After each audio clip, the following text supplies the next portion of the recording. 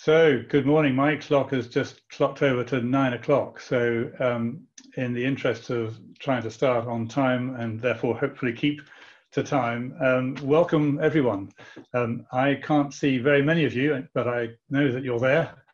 Uh, my name is Ian Firth. I'm the chair of the uh, IABSE British group, British group of the International Association for Bridge and Structural Engineering. Uh, and as the name implies, it's international. Um, all over the world, we have uh, have members, and I don't know whether any of you who are uh, joining us this morning uh, or this evening or whatever time of day it is with you are, com are coming from outside of the UK. But if you are, you are most particularly welcome. Uh, that is one of the joys, of course, uh, the, the few joys of this new format we're having to live with. Um, were it not for COVID, we'd be meeting in London. Uh, and having a, a, day together and, and, and such a, an important part of the day together uh, we have found over the um, years that we've been doing this now, uh, such an important part is the interaction between people. Very sadly, we don't have that same opportunity in this uh, online format, um, but we make the best of it, uh, the best we can. Uh, and we have an exciting program uh, put together by a very enthusiastic and very capable young team. So I'd like to start the day by giving thanks to our team of organizers. We'll come back to them again probably at the end of the day. But uh, thank you so much to all of you. Put in a lot of time, a lot of effort um, uh, in this. Started way back last year, uh, and then everything had to change, of course, when COVID came along. But anyway, thank you so much for joining us. Um, IABSE, uh, as the name implies, international, as I say, and it, it deals with bridges, structural engineering, every aspect, every material, every type of, of structure, engineering, architecture. We, we basically deal in the built environment uh, as a whole, as a rule, as an entirety. Uh, and uh, today is a very exciting day.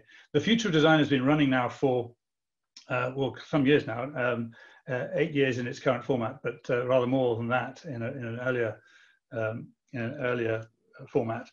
Um, and the intention is just to have an opportunity to hear from some people who are doing some really exciting stuff, working on, on projects, quite a wide variety of projects. Uh, but there's a real young members um, and young persons focus with uh, the Future of Design event. We get a lot of activity from young people, and as you'll see in the program this afternoon, we have um, some presentations from uh, shortlisted entries from the Young Designers competition, which we've been running uh, over the last month or two.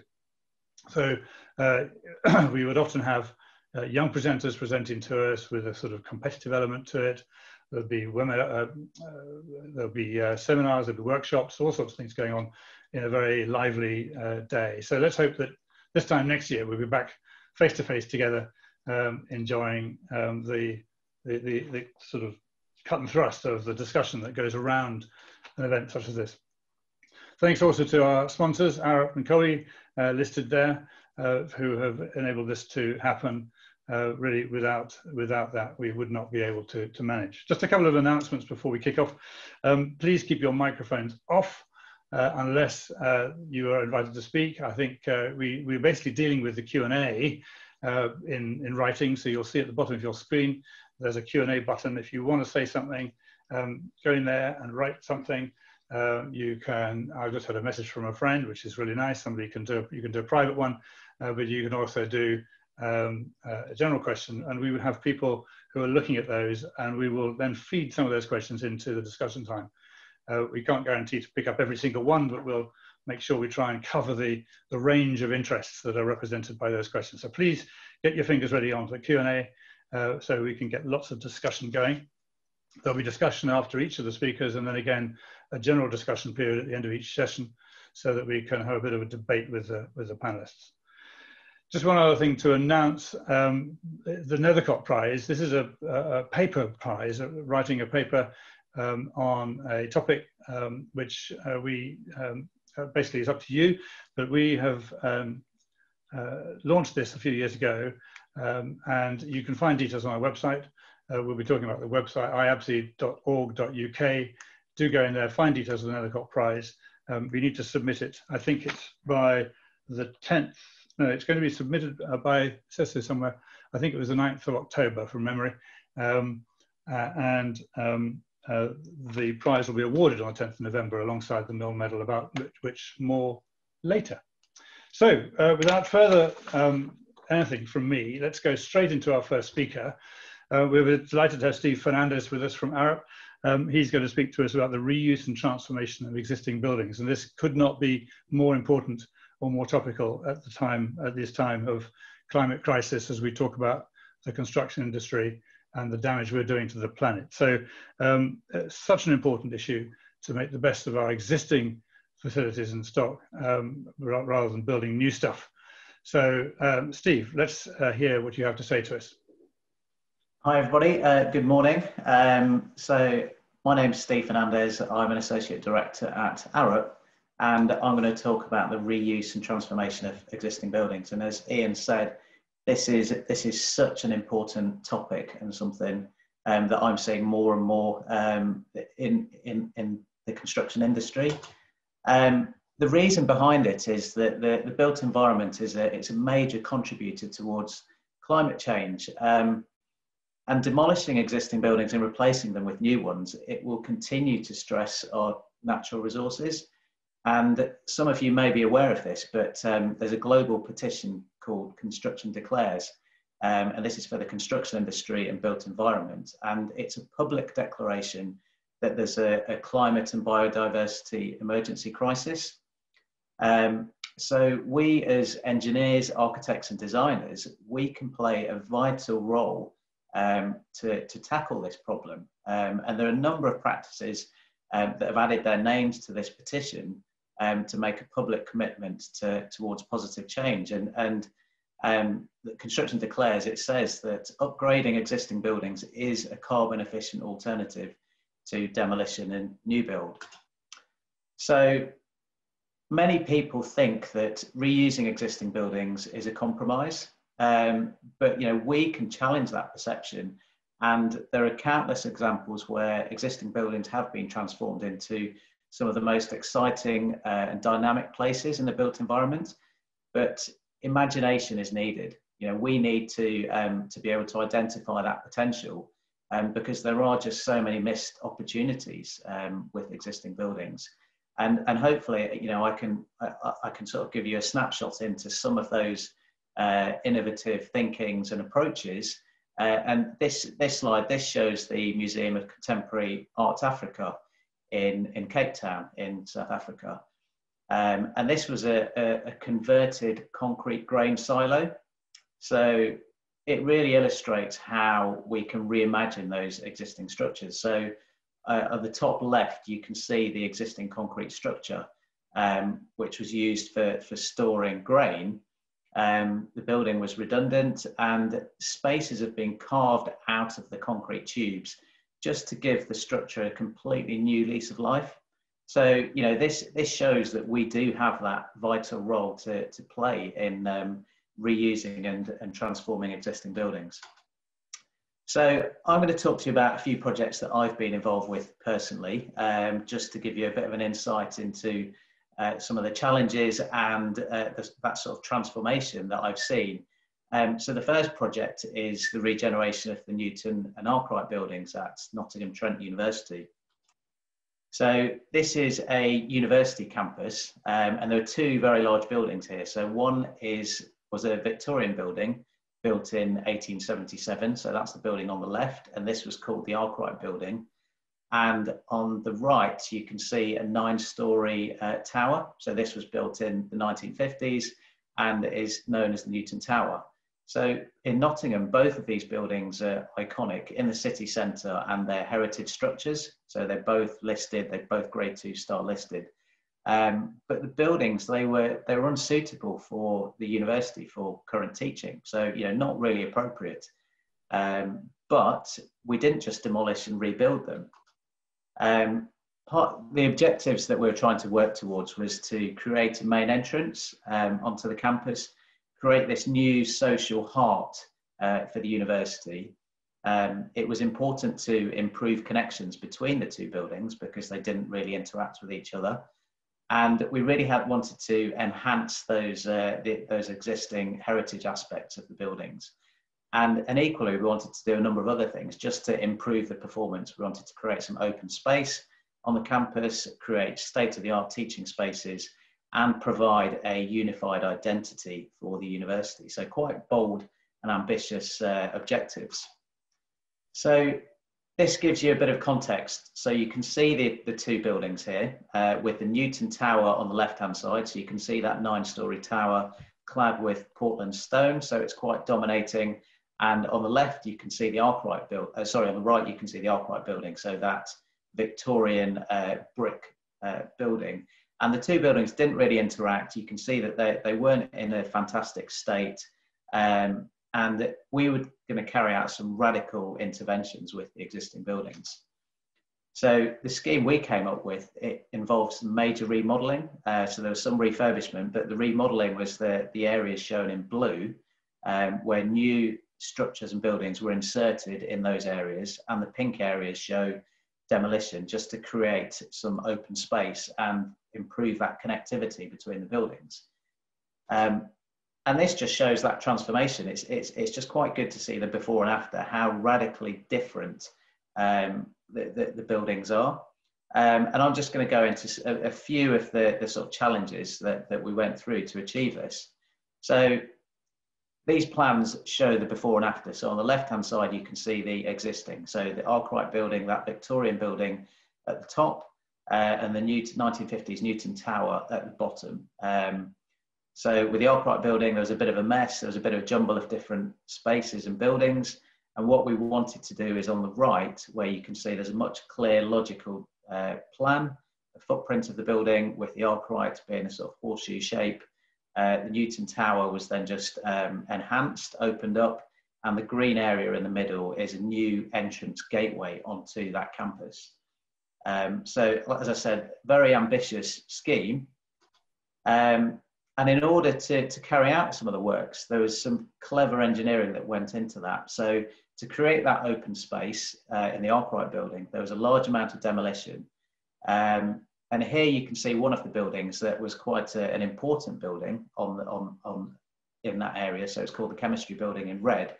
And this building had to be retained, but you can see that it was surrounded by a number of other existing buildings. So only one elevation or half of an elevation was uh, external, the rest of it was all internal, uh, surrounded by these other buildings. And on the right, you can see the, that space within the chemistry building, so not very inspiring at all.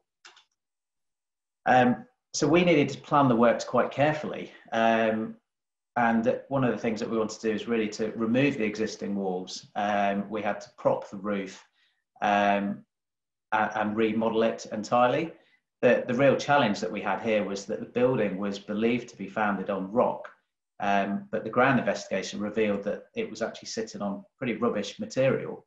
So we're really concerned about settlement. So this is the sequence of works. We installed some piles, uh, pile foundations within the building. So um, inside the footprint of the building, cast the capping beams, um, we then installed some temporary props because we had to retain the existing roof structure. It was all listed and it was an important heritage aspect.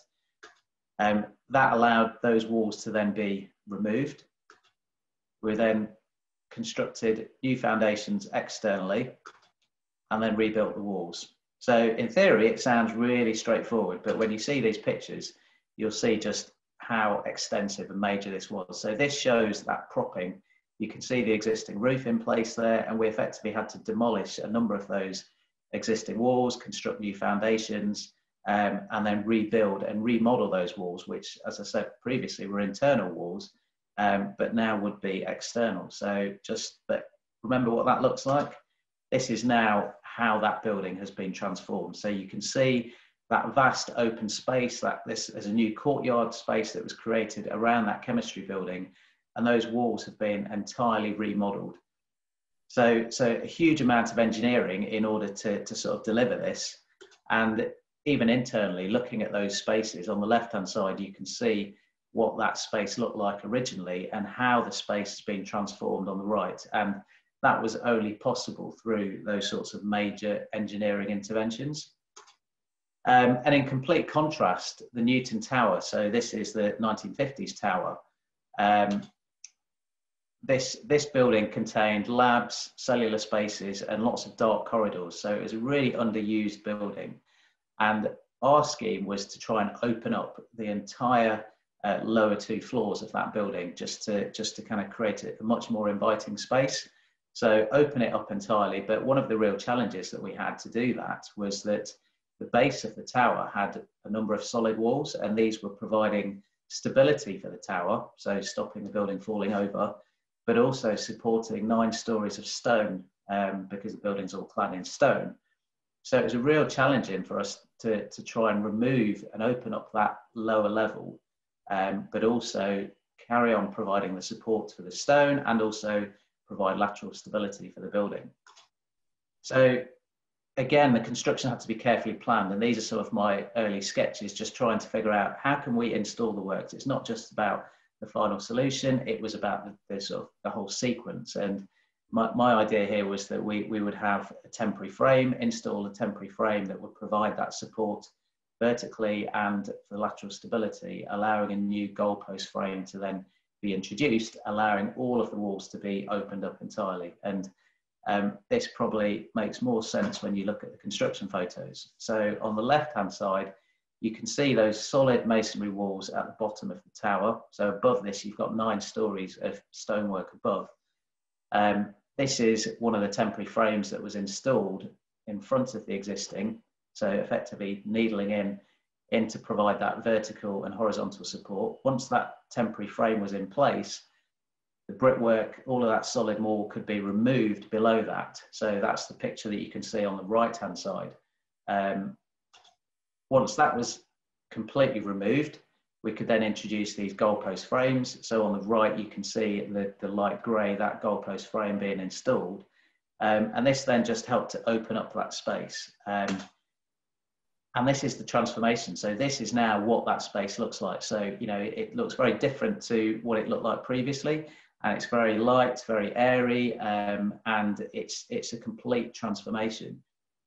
And just just to sort of illustrate that transformation, this is what the space at the base of that building looked like. So it was a it was a loading bay. It was used for parking, um, very dark and dingy, and this is now what that that area looks like. So again, you know, it's lots of people mill around and they you know they want to be in that space, and the space between the two buildings, on the left, you can just see part of the Arkwright building with the Newton Tower on the right. Uh, and that wedge of space in between the buildings was just used for parking. Um, this is how that's been transformed. So this has become the gateway, the heart of the campus. It's a really vibrant uh, and social space. So a real transformation um, of the space, both within the building and also around it. So the next project that I just want to talk about, again, it's in Nottingham, but it's a completely different scale. Uh, this is a, a, library at the University of Nottingham. And the existing building, it was a concrete structure. So it's a very rectilinear, uh, effectively a concrete box. Um, it served its purpose at the time, but for uh, sort of today's teaching and, and sort of learning requirements, it just didn't really meet uh, the, the needs of the university. So you can see that the internal space here, it was not very inspiring, minimal floor to ceiling heights, not very much natural light. It was a horrible space to, to work and study in. So the objectives here, we, we wanted to, uh, the client wanted to improve the way that the library worked. Uh, we wanted to create a light and airy space. We needed to improve the connections, uh, manage people flow within the building, uh, we wanted to create student-friendly places, but most importantly, we had to ensure that the, the building remained operational throughout the work. So this was a 24-7 library. Um, it had to be open throughout all of the construction works. So this was our concept, quite, quite radical here in that you had this concrete box and we wanted to effectively double the size of that building. And we decided to build above, so introducing a new floor over the top of the building introduce a new level below, so introducing a new basement area, um, removing all of the existing columns on one side of the building, and then extending out with an atrium space that, that then opened up into the existing, and then a new extension to effectively double the size of the building. So this is uh, a cross section through the building. So you can see that rectilinear box of the existing, and this was our, our proposal. So we are going to introduce a new basement below, building a new floor above, a new atrium space next to the existing, and then a new extension to the right hand side. So this is a 3D model. Um, it shows that it gives you an idea of the geometry of the building with the existing building on the left and this sort of curvy uh, extension on the right. Um, and this, again, the engineering um, was an important part of this. So this, this is a construction photo showing effectively the, the building being propped. So the steel frame that you can see there is providing all of the support and it's clamped on a column.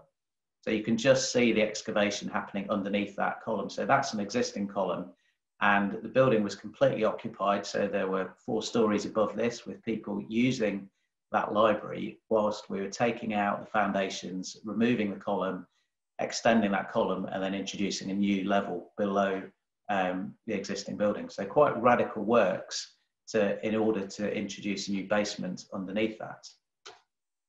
Um, I talked also about the, the existing columns. So, you know, you saw the, the, the view of the existing building. You've got a number of slender concrete columns around the perimeter, but um, what we wanted to do is open up that space, ensure that natural light would spill into that existing building, create that nice light and airy environment. And the only way we could really do that is to remove some of these columns, but obviously the columns provide the vertical support for the building. So what we came up with here was an engineering solution where we would construct a new concrete structure wrapped around part of the existing. So in the back, you can see those existing concrete fins. You've got a new concrete structure installed in front of that. Um, once this was in place, we were then able to whip out all of the existing behind and just open up that space so that it becomes a much lighter and airy environment. And this is how that's been transformed. So on the sort of left-hand side of both of the photos, you can see that's the existing building.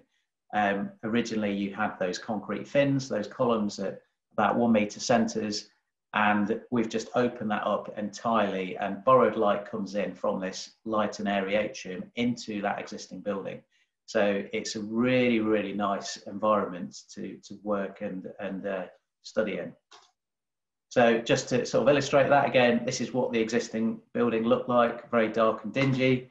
And this is that transformation you know the spaces are light airy um, and it's a fantastic environment. And externally it was also it was all unified. It was all wrapped with a, a, continuous facade so that it still looks like one building. It doesn't look like an extension onto uh, an, an, old concrete structure and lastly just to talk about Coaldrops Yard. So this is in london in the king's cross area. Um, and here there are two victorian brick buildings. They were both built in the 1850s um, and these were used for the distribution of coal at the time. So coal arrived from the north of England by train. Uh, it was then um, uh, dropped into the buildings, hence the name Coaldrops, um, and then transported around central London by canal. But as the use of coal declined, the buildings were then abandoned, and over time they just started to deteriorate. And you can just see on the the, the building on the right uh, in the background, part of the roof is missing. So there was a fire and it lost part of its roof. So the buildings were in a really, really poor state. Um, so the objectives here were to transform and restore these two Victorian warehouses. We wanted to preserve their historic character, but also quite ambitious here in, in creating a dynamic um, a new public space and also to create a, a retail destination uh, and generate a real heart uh, for the development. So this could then host concerts and performances. So this is the concept. Um, it was to, to, to create a, a, breathtaking sculptural roof um, that would then unify the two buildings. So we wanted to create a, a dramatic retail space um, which would then float over um, this public plaza beneath. And you know, the, in the modern day, things have changed, and I think this was this really demonstrates that, that the fact that we're able to use 3D printing and digital modeling, um, it allowed the team to cycle through multiple iterations uh, of designs in, in sort of rapid succession. So we're able to test and test and throw things away and restart again. So it's a fantastic way to, to, to kind of generate those sorts of ideas and develop concepts. Um, we wanted it to, we wanted to create a destination that would draw visitors um, to the buildings and the area. And again, the engineering was massive for this. So we need to, needed to restore the existing buildings. So this involved carrying out um, a forensic assessment. We needed to understand the structural arrangement and condition the existing buildings. We discovered decayed timber, cracked masonry, corroded ironwork, um, and there was extensive structural deterioration. So we had to assess the load carrying capacity and we designed strengthening and repair. So that's the existing structures. Um, we also had this fantastic new roof. So this, the roof, as you can see, it peels away from the existing roof, it curves outwards and upwards, and it comes together at a single point, which is known as the kissing point. So this is the only point where the two buildings meet. Structurally, it's a tied A-frame, so it's very efficient um, with the A-frame spanning between the shortest points between the two buildings. And you could just about see that the, the V-shaped component at the top. So this forms that kissing point. Um, so it maintains that structural roof profile, but transfers, uh, transfers large forces across um, this critical junction.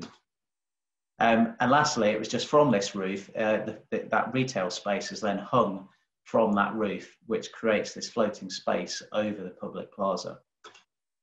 So transferring those initial sketches into the 3D model. So here you can see the, the sort of complexity, how that structure interacts with the existing. Um, and again, as with the other two examples, the, the construction was meticulously planned to thread into the existing structure um, and quite major piece of sort of structural engineering to form those very large structures, uh, the roof form. And here's a photo during construction. So, you know, you can see the, the sort of the, the, the intensity of the construction.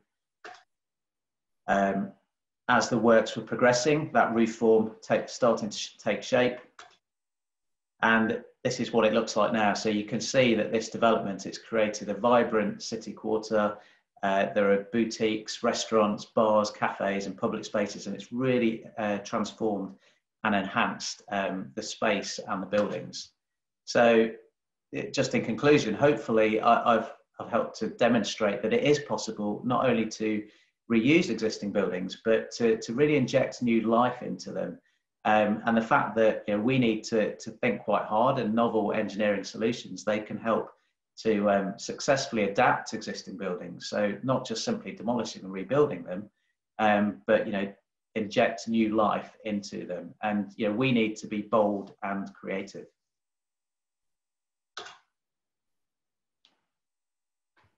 Great, Steve. Thank you very much indeed, um, and uh, thank you for keeping pretty much the time. So well done, uh, first speaker. Let's have uh, some questions. I can see we've already got a few, and in fact, a couple of them are very much along the lines of the questions that I wanted to ask. Um, in the introduction, we talked about uh, the need to really be mindful always of the carbon content of what we're doing um, and minimizing the carbon. As we know, we've got to get to zero, not just minimum. Um, so um, question number one uh, from somebody who doesn't want to be known.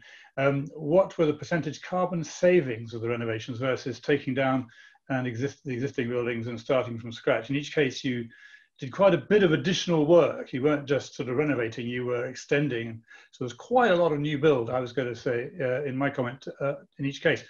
Um, what, did, was there a, an evaluation of, the, the, the, pros and cons of knocking down starting from scratch versus what you've done and, and a, a carbon balance in, those, in that calculation? I think, uh, to, to be fair, um, th these are projects that have been completed. And I think at that time it was less uh, the sort of carbon calculations were, were, were less critical. Um, but you, are right that there's, there is an extensive amount of rebuild, um, but, but also that was just due to the client requirements. So, you know, that they, wanted more space. Um, so it's a combination of reusing the existing where possible um, and introducing new spaces as well. So it's, it, it, if if it was a, a, you know if if say the area of the buildings were to be maintained, then I don't think we would have had as much new build. Um, in this case, we're trying to cram in, in, in the modern day, we're trying to cram a lot of space into uh, existing buildings. But what, what we did is we, we tried to utilize the existing buildings as much as possible. So, for example, in the Newton and Arkwright buildings, we needed new lecture theatres, and much of the existing buildings couldn't really be used for lecture theatres with, say, 100 people in there. So mm. we had to build new spaces that could accommodate lecture theatres, but then we used existing spaces for. No, sure, no, that's understood. I mean, and I think one of the challenges we're going to be facing as we go forward is how do we, um, should we say, constrain a client's ambitions, um, mm. which is a tricky one, and I'm sure we'll be talking about that during the day, um, because we're going to have to. Um, somebody says we want lots of new buildings, we're going to have to say, well, actually, no, you've got to make use, of, make better use of what you've got, um, mm. and that actually is a real challenge for us in the zero carbon economy. Um, but we'll come to that a bit more. I mean, there's, a, there's the adjunct question, of course, what criteria would you use if you were to be doing that calculation um, to decide whether to renovate versus build build new? I think I think there's there, there are a number of considerations as well, and it's it's it's uh, it's not just the building itself; it's the whole construction process. Because if you, for example, on the the, the library project, um, we, we kept the building fully occupied. And if it, if it was a knockdown rebuild, you may end up having to have um, temporary accommodation. And all of that adds to the carbon footprint. What do you do? What do you do with the decant? How do you move people out of the building? And, and all of that does add to the sort of the carbon offsetting. Sure, sure, sure. No, fair enough. Um, do keep keep the questions coming. I can see they're beginning to roll in. I mean, I think the, again the question for the future, same on the same sort of subject. You know, how if we were designing new buildings now, uh, question from Charlotte Murphy, how would we design them to make them uh, more appropriate for renovation in the future, easier to renovate? Any clues, any ideas? Uh, yeah, so this is something that I, again, I'm seeing more and more of that we're, we're designing buildings. And there's two approaches. One is that you future proof them um, and, and I think maybe about 10 years ago, I was probably seeing more of that where clients would say, we want our building future proof. But if you future proof a building, you, you may end up adding a lot of extra cost into it because you know if you if you're say designing it as an office and you maybe want to convert it into uh, retail in the future, you you may have to design the structure to carry more loads. You may end up having to design for longer spans, and that adds to the sort of carbon footprint because you're you're over effectively over designing it on day one for something that may or may not happen in in 50 years time. The other alternative is that you think quite carefully about what could happen in the future. So a, a good example of this is say for example a car park. You know you might uh, today a car park is needed because everybody's using cars but in the future we may not need car park car parking but do you design that structure to have, say, taller floor to ceiling heights, higher loads, or do you just design parts of it? So it may be that around the perimeter you could convert the perimeter into retail space. So, yeah, yeah, or, or, yeah. maybe you just do it at the lower levels. So you have a higher floor to ceiling height at the lower level, and then you don't over design the upper floors. Sure. So I, I think this is where we need to, as designers, we need to think quite carefully about what do we want on day one what could happen in the future and how can we adapt it but we don't want to over design no absolutely right. And, and of course we have to do that but but but uh, adaptation uh, and the use of uh, you know reusable components and all that sort of stuff has to become part of our everyday thinking doesn't it? Mm. um, i mean in the time scale that you had on these projects uh, you know did you you know make changes uh, to, to improve the outcomes from on this on this from this point of view yeah, new we did. Yeah, new, I think new technologies coming along as as you were developing it. I think I think that that has to happen, and even your methodology for doing the works, and even you have to have a very very open mind about how you do things, even even construction techniques. So on the library, we ended up um, incorporating things like hydro de demolition, so using water jets. Um, there was controlled demolition using um, explosives, and and technologies were sort of changing throughout and it just meant that you would have with a new technology you may have to revisit the approach how, how does it how does it work you know for, uh, hopefully i've illustrated it's not just about the, the sure. final solution it's the whole construction process has to be considered holistically yeah. and all of those techniques do have an impact on how you you know how you actually build it Good. Well, thank you very much indeed, Steve. Um, really, really great start to our to our sessions today. Um, and uh, I was very delighted in, in, the middle of all of that to see some really good, uh, clear hand sketches from you. Um, you said they were yours. If they were, well done. Um, it's a particular bugbear of mine. We've forgot we're losing that skill, so let's uh, let's keep that one alive. Good. Let's move on to our second speaker. Thank you very much, Steve.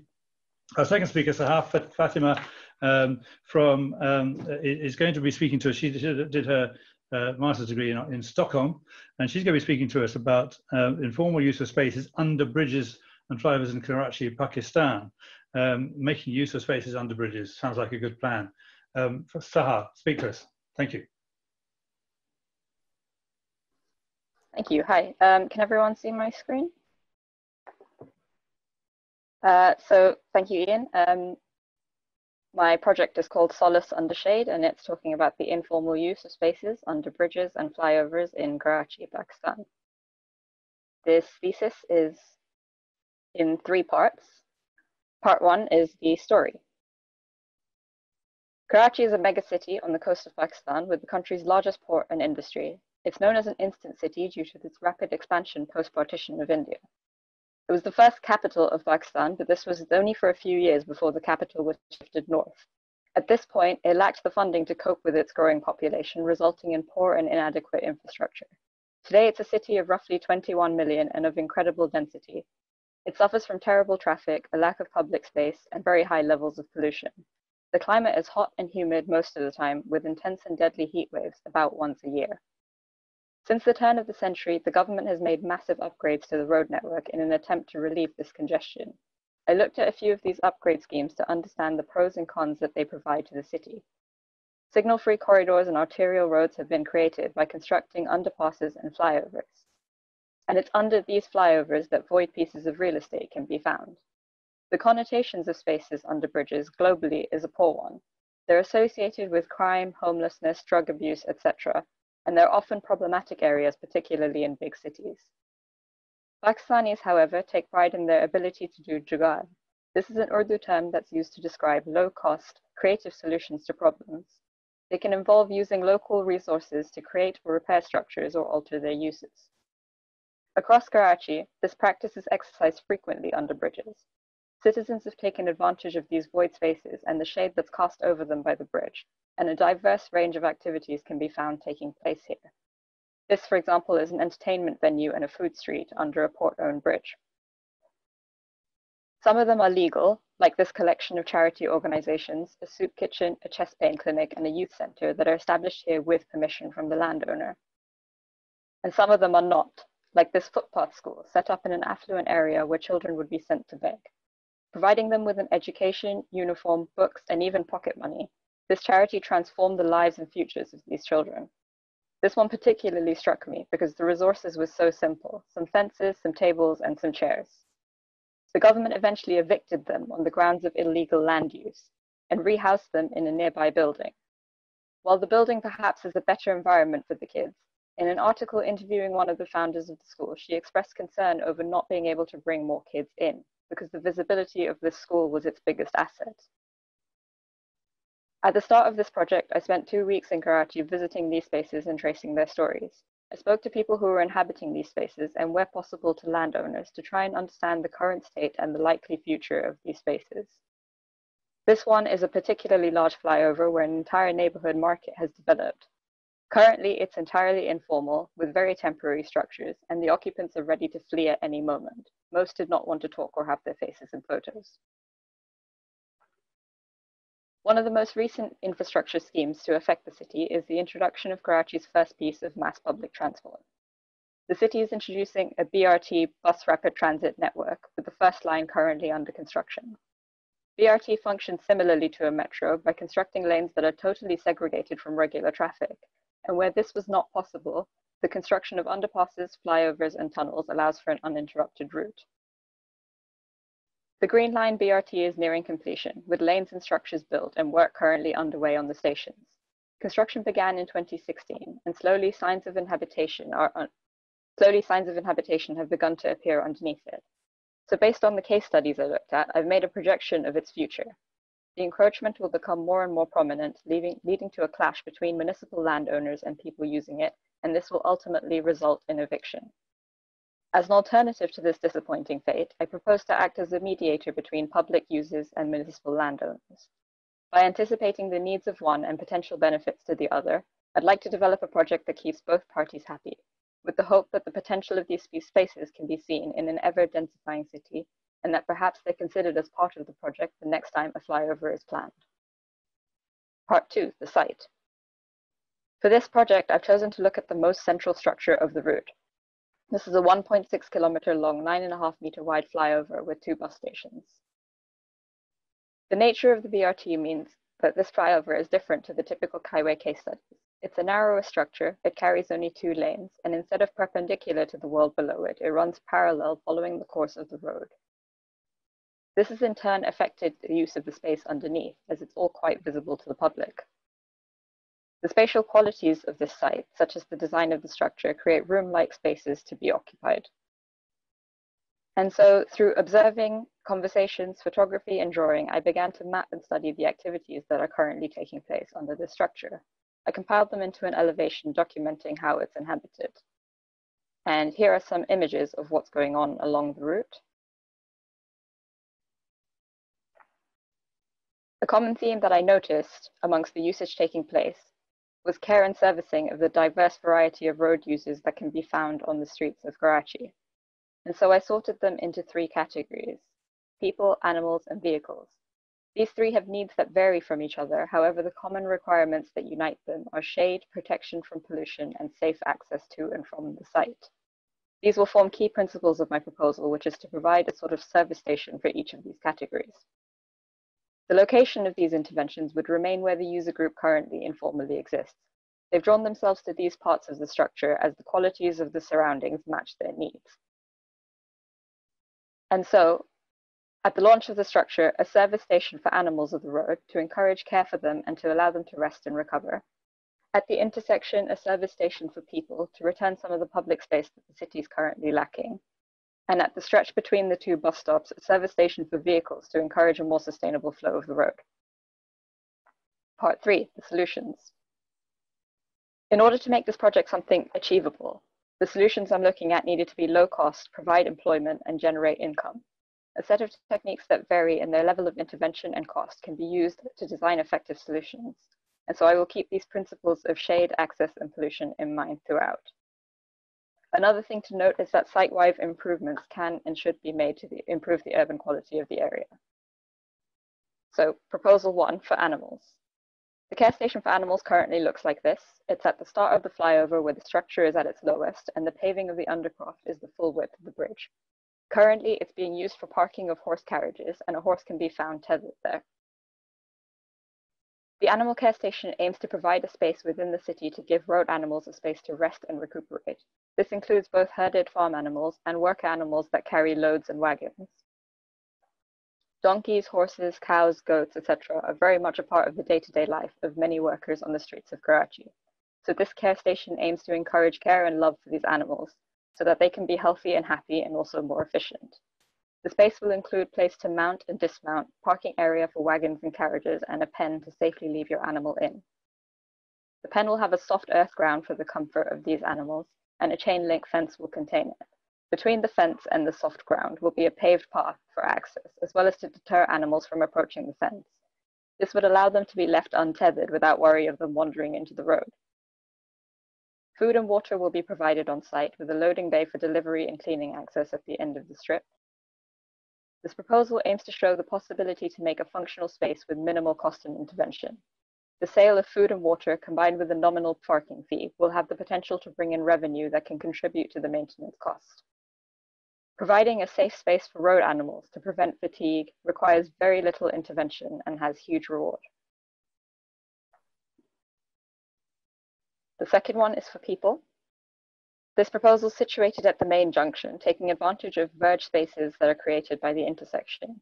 Two triangular plots currently containing a small green space are fenced off to the public, and I've often observed people sitting against this face, fence, taking a break and socializing in the shade.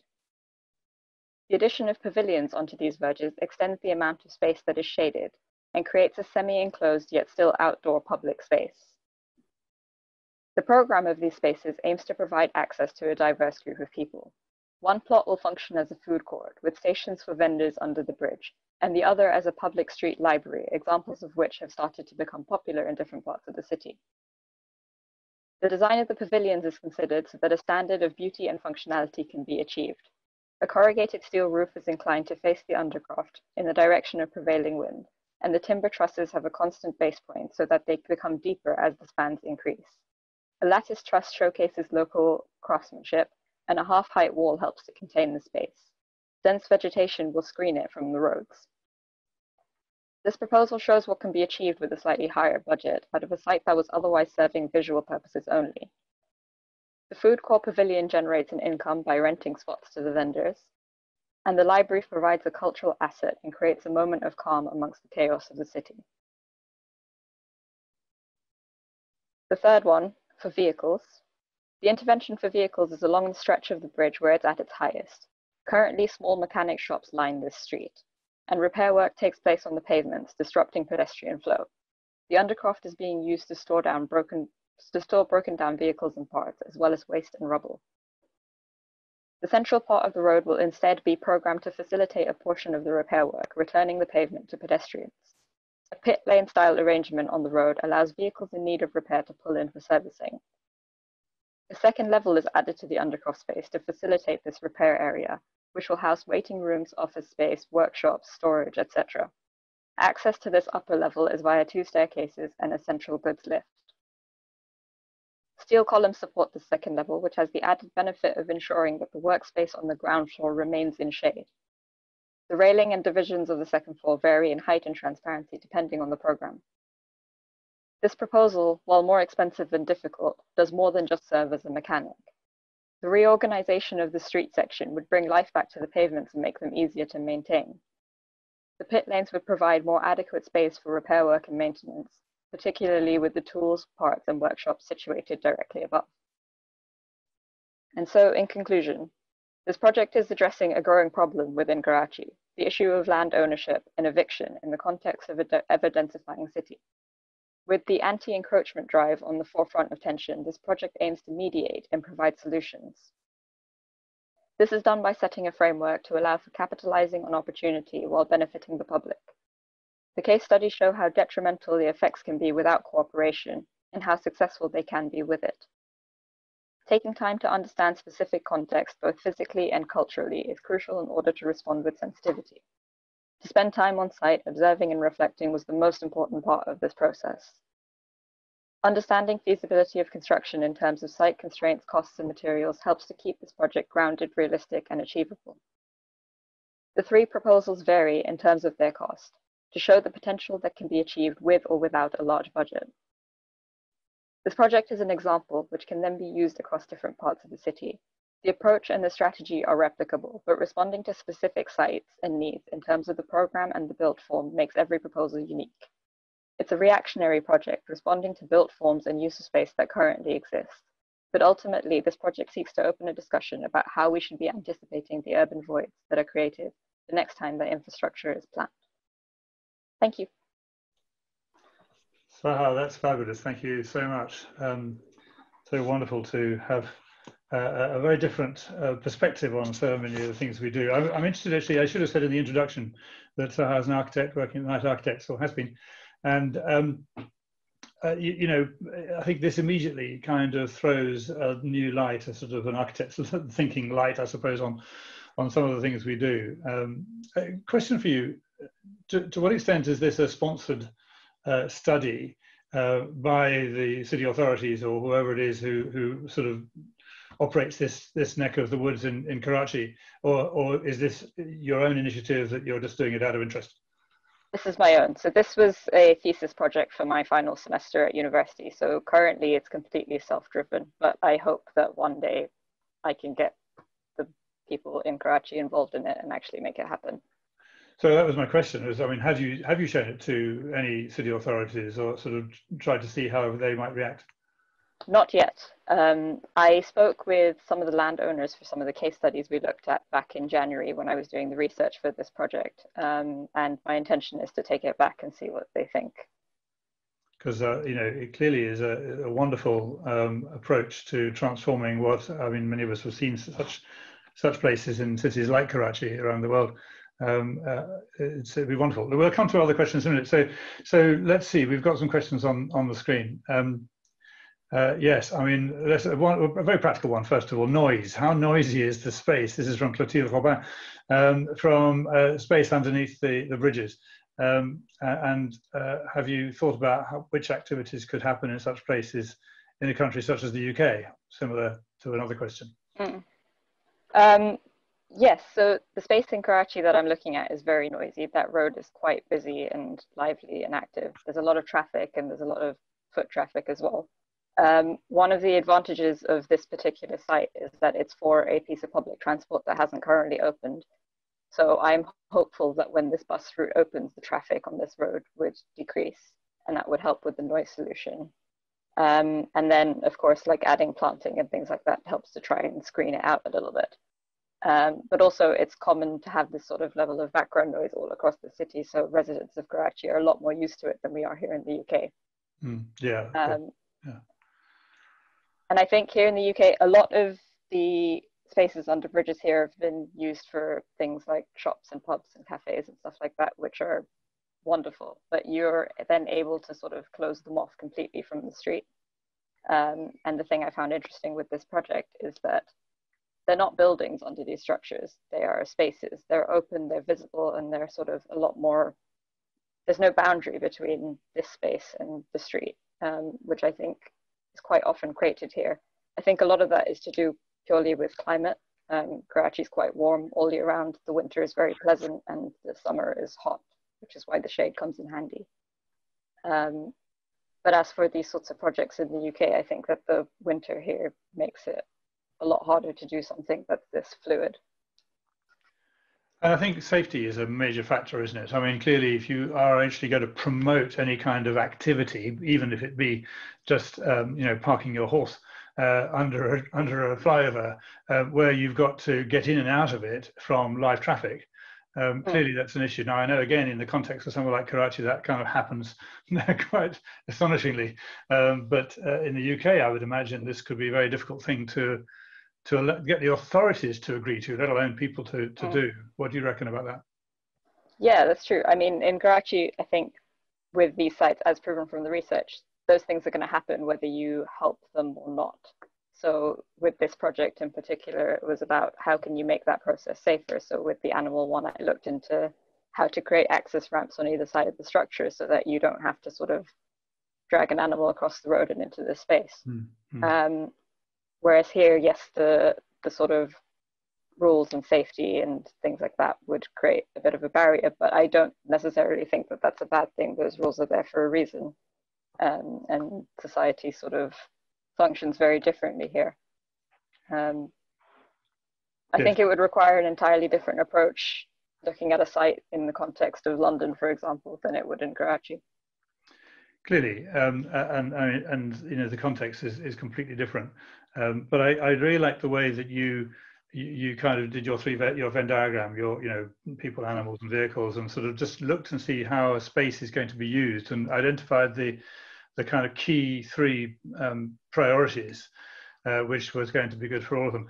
How, how might you uh, uh imagine sort of extending that thinking into, let's say, a London flyover, if you were going to be working out how you're going to design a new flyover and make the best of the use the space under it? What might be the equivalent parts of the Venn diagram, do you think? Well, so the sort of range that you get on the streets here might be quite different. You may not see goats and cows on the streets of London, but I think yeah. that the reason that all of that came into that is just because I went to this site every day for two weeks with my dad and we sat there and we watched it. Um, and we made note of things that happened and took pictures and talked to people. And so I think the process was more important than sort of the outcome in a way. So the same thing of rather than looking at a map and sketching over it, to actually go there and sit and watch and see how people interact with the space. That is critical. Where it would start. Yeah. That really is critical. And actually, it's worthwhile just pausing on that thought for a moment because um, you know, so often you're, you're right. We take Google and we look at the map and we, we, we sort of draw over it kind of thing um, without ever having been to the site. I mean, obviously we always like to go to a site if we possibly can, but sometimes it's not possible. And even if it is, um, maybe our program or our budget doesn't allow us to do what you've done, which is to sit there for two weeks and actually really absorb the issues that uh, influence that the use of that site. So um, you know that is a lesson that we we can and and, and should learn, um, particularly those of us designing bridges, because what we do with our bridges and flyovers is to make a radical change to uh, environments. Um, we got some more questions in here. Um, there was a question here about um, fire and vandalism from James Parsons.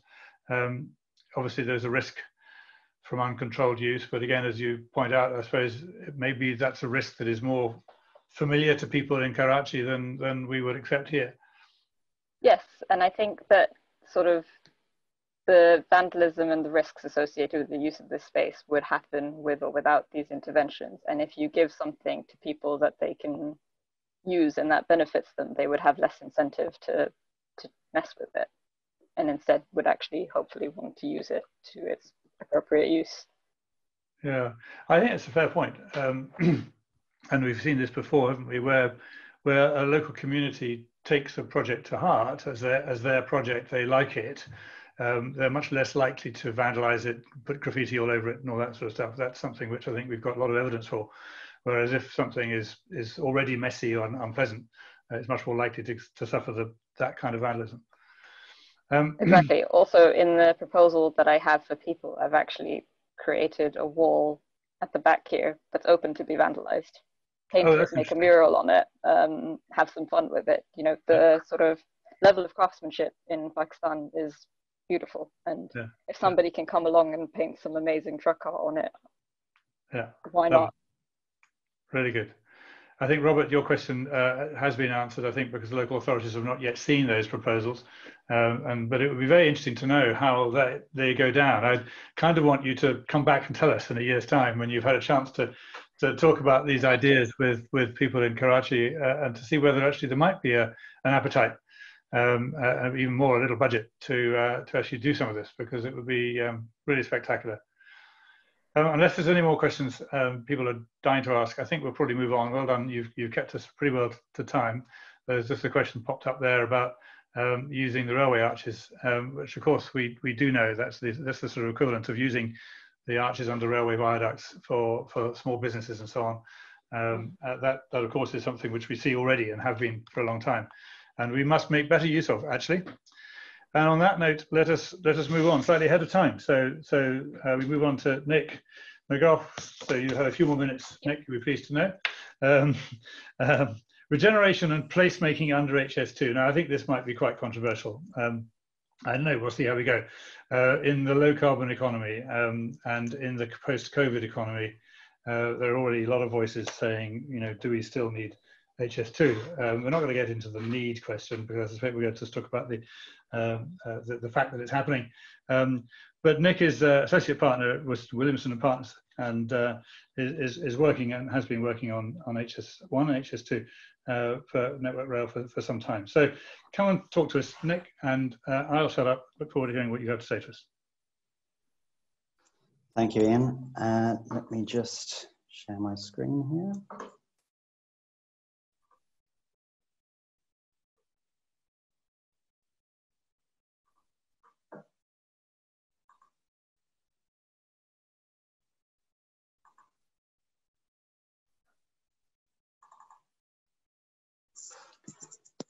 Right. Hopefully everyone can see that. Yes, that's looking good. Thank you. Brilliant. Um, so building very much on what um, Sahar was actually saying, this is a, a, a sort of uh, complementary uh, sort of whistle-stop tour through some of the work that um, I've personally been involved with um, at Weston Williamson and Partners, um, centered really around uh, what we believe in terms of cities working as a system of systems uh, and, and, and, a, and a strong belief that high quality infrastructure can add to the well-being and happiness uh, of the denizens of urban areas. And I use the word denizens as opposed to citizens because it does include exactly, as Sahar was saying, animals, wildlife, uh, and, and the biodiversity aspects that need to be included in, uh, in these sorts of linear infrastructure projects. Um, so infrastructure um, a lot of it's not seen. This is a this is a, a, a shot of one of our projects, the tunnels uh, leading into uh, Paddington Crossrail.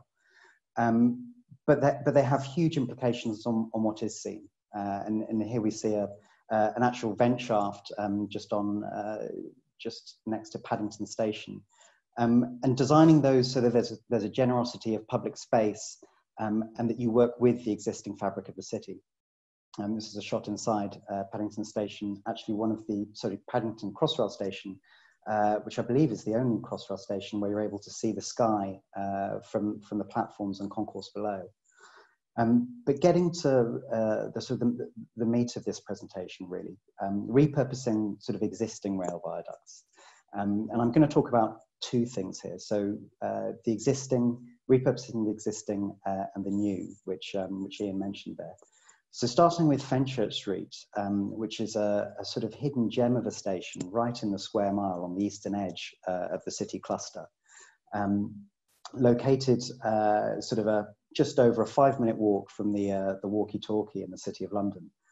Um, used by a huge number of commuters, but uh, much unloved. I think um, uh, a grade two listed facade uh, is pretty much all that's left uh, of what was quite a dramatic um, station and train shed uh, that has uh, seen, I think, in the 1980s, uh, an oversite development um, sort of, uh, I won't say delicately, um, placed above the station. Um, and really, we were commissioned by C2C. Um, and this is, again, a very interesting um, sort of change in how uh, the UK government and the, and the DFT are sort of seeing uh, the future of the railway um, in the UK, where they're wanting train operators um, and uh, potentially franchises to take more ownership of managing their own stations. Um, that's obviously all under review currently with the Williams review and the white paper is out. Um, but in this particular case, we were commissioned by C2C um, to actually look, uh, look, look ahead and, and, and look at the next sort of 50 years of Fenchurch Street. Um, I will say now, this is all uh, pre-COVID work that you're seeing.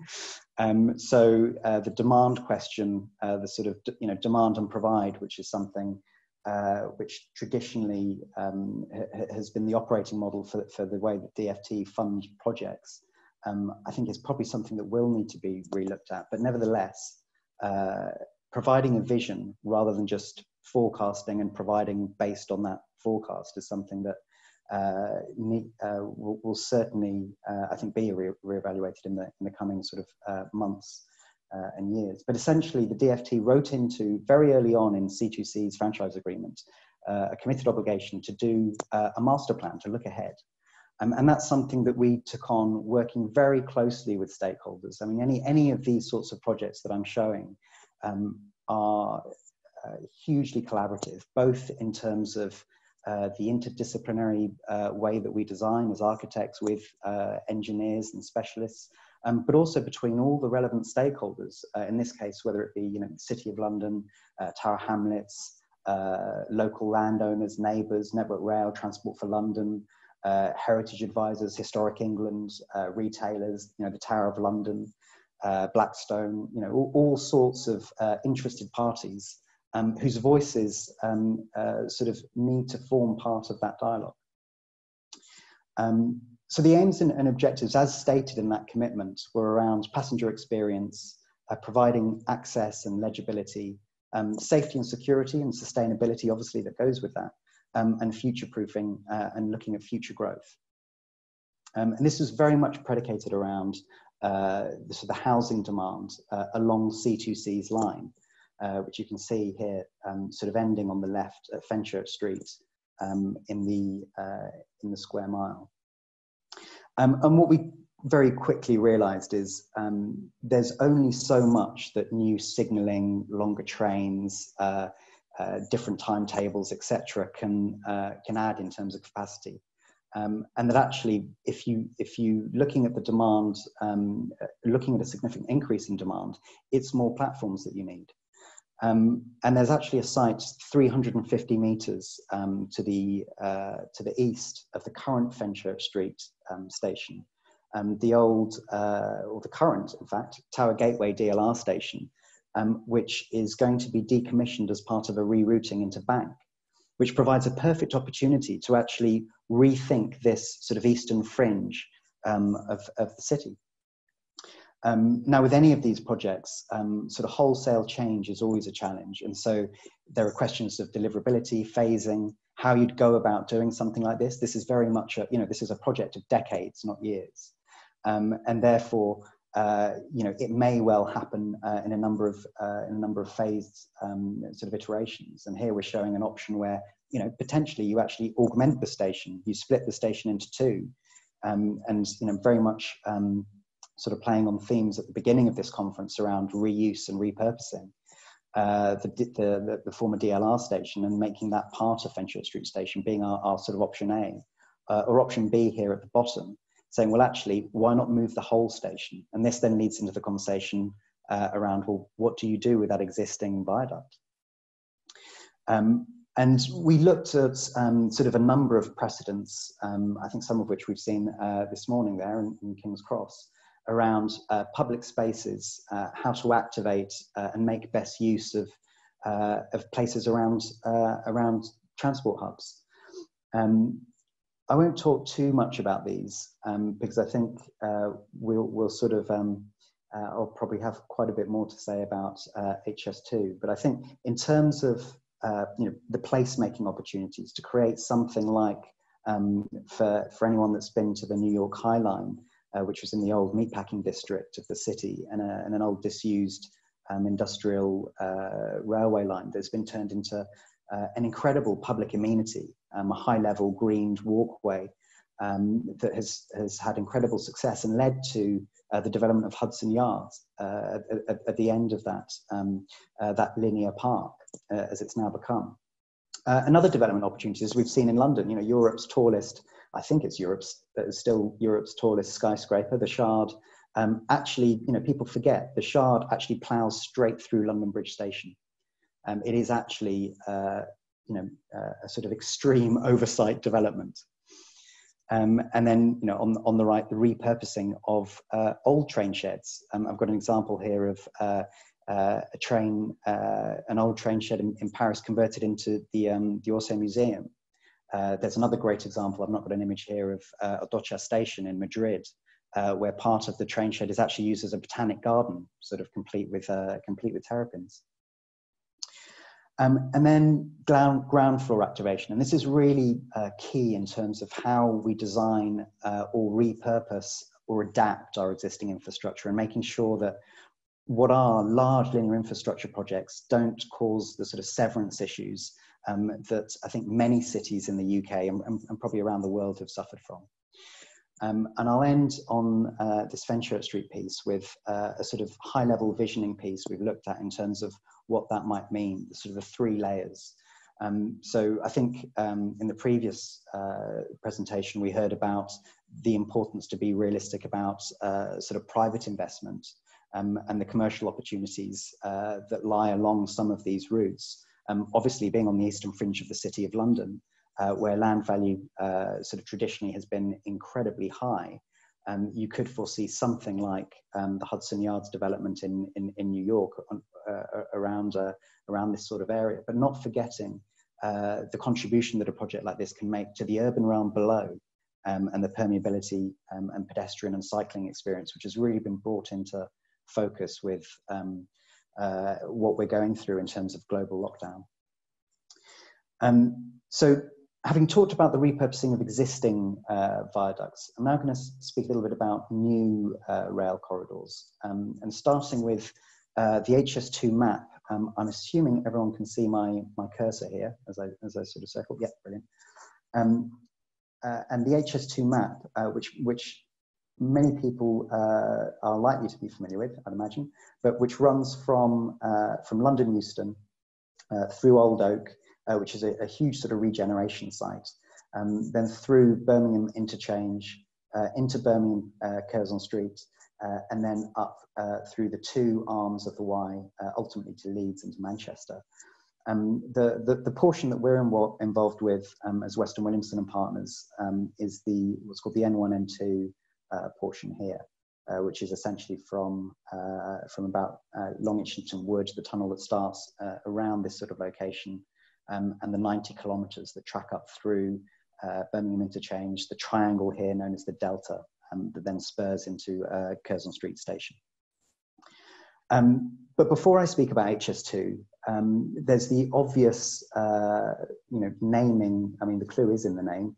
It's the second high-speed line in the country. There is uh, an HS1 line, um, and again, uh, it's worth pointing out here that HS2 and HS1 were at one point going to be linked. Um, you can see there that they get within 700 meters of each other, um, but for various reasons, which I won't go into now, uh, don't connect.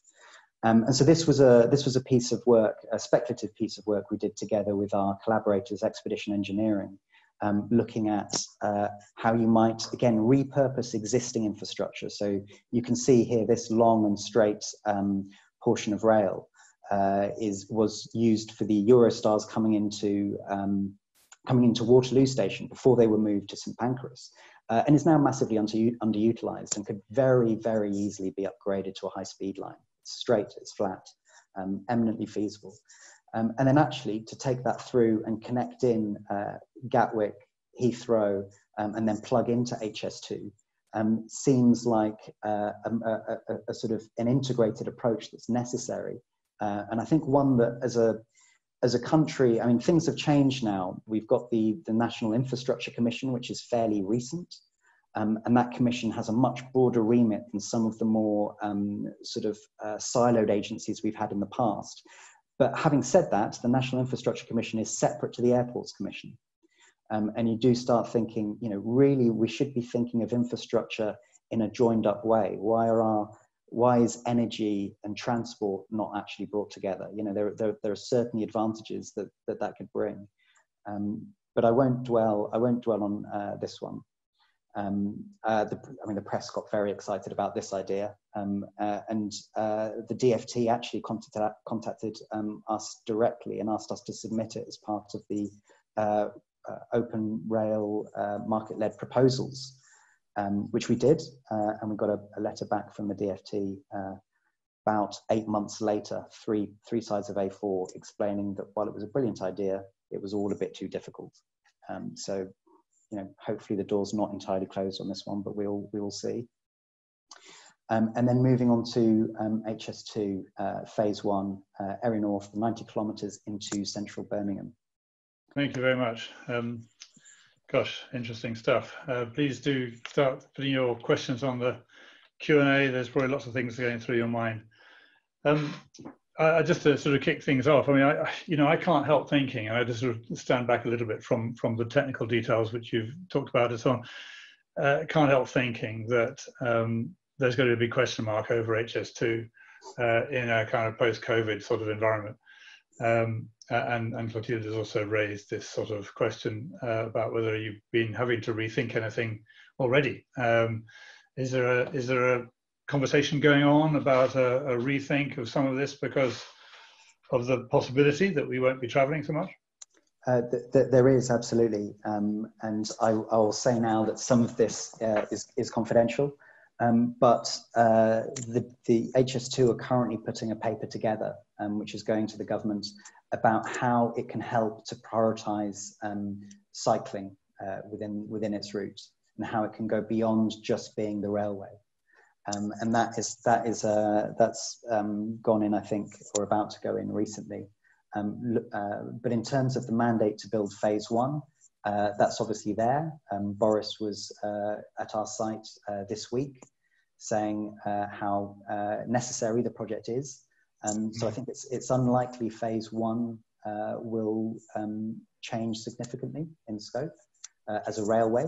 I mean, um, it's a real challenge, isn't it, with projects like this? Because as you said it yourself, and actually you were talking about the Fenchurch Street project, projects yeah. take decades. It's a project of decades, not years. Yeah. You know, whenever you're planning anything like this, and we know, I mean, how long have we been talking about Crossrail? How, how long have we been talking yeah. about any of these things? You, you know, it, it is decades away, and, and none of us has that kind of a crystal ball. Um, we can assume that growth will continue um, the way it has been. Um, but you know, then along comes something like COVID, or actually, um, perhaps even, oh yes, certainly more significant. You know, we are now much more aware of the impact of our efforts on the planet. Um, you know, uh, a, a, year ago, or, or, more than a year ago, perhaps you might not have been thinking too much about the the, the carbon in that uh, extraordinary um, uh, endeavor. But I mean, you know, I, I, if we were if we were really meaning business and doing a zero carbon development to improve rail traffic and rail transport in the UK, it wouldn't look like that, would it? it, it well, there are more. There are people much more qualified than me that would be able to answer um, those sorts of questions in in detail with uh, sort of sound um, statistical and scientific backing. I think the, the message that HS2 is um, is sort of trying to get across, and I, and I don't, you know, I, I don't want to uh, sort of speak uh, on their behalf. I speak no, no, from, my, from my own from my own perspective, but is is the three C's. So it's capacity, connectivity, and carbon. Uh, and HS2 are very conscious that actually they need to be part of the solution uh, and part of our move towards uh, net zero carbon. Um, and that that uh, you know requires a step change in, in, in transport. I mean, there's a bigger question about will we travel as much post COVID? I mean, and, and, no one has the answer to that right now. Uh, but certainly, in terms of as we've seen in high speed rail in, in continental Europe and how that's affected uh, domestic uh, air travel, and if a project like HS4Air were to go ahead, where you actually link HS2 to HS1, um, and actually, you know, by extension, HS2 then becomes part of the European uh, high-speed rail network, um, then it's it's actually fundamentally moving away from air travel for yes. much shorter journeys, um, and that's that's got to be positive from a sustainability and, and environmental front. Yeah, no, there's no question. There, there, there is certainly uh, a, a, desire now. again, uh, you know, the move away from aviation is inevitable. Um, I think in, in the post in the zero carbon economy, um, and um, uh, just as an aside, while I wait for more of you to ask some questions, um, uh, we just had IABSE just had a couple of days debating the carbon um, issue in the Henderson Colloquium um, uh, which was a very inspiring few days. In fact, I can see some of the participants in that were actually with us today as well, which is which is really good. Um, but you know, the, the realization uh, dawning perhaps rather too slowly on most of us. Um, uh, the, you know, we have to start thinking radically. You know, no aviation, no cement. You know, it's there's no kind of grey area in between. It's absolutely binary. It's not. Uh, you know, it's it's something that we've really got to be mindful of. Mm. And so uh, I don't know. Have you talking about that? I mean, looking at the viaducts themselves, um, you know, lots of concrete structure there. Um, uh, any alternatives being considered? Um, there's actually some really interesting uh, innovation work which HS2 are doing, um, uh, specifically around um, how, uh, and I will, uh, given that I mean, I'm guessing the audience is is probably more expert in engineering than I am. Um, are looking at the, the, the utilization of rebar within uh, viaducts and, uh, well, concrete structures uh, more, more generally. Um, and whether that can be pushed through a data driven approach in terms of how rebar actually performs um, and how reinforced concrete actually performs so that we go beyond utilizing uh, sort of standard BSEN uh, or Euro codes and actually uh, look at um, you know, utilizing the structure in an even more optimizing way and therefore reduce the amount of concrete. And that is work that's happening. Yeah, no, that's, that, that's, that's interesting.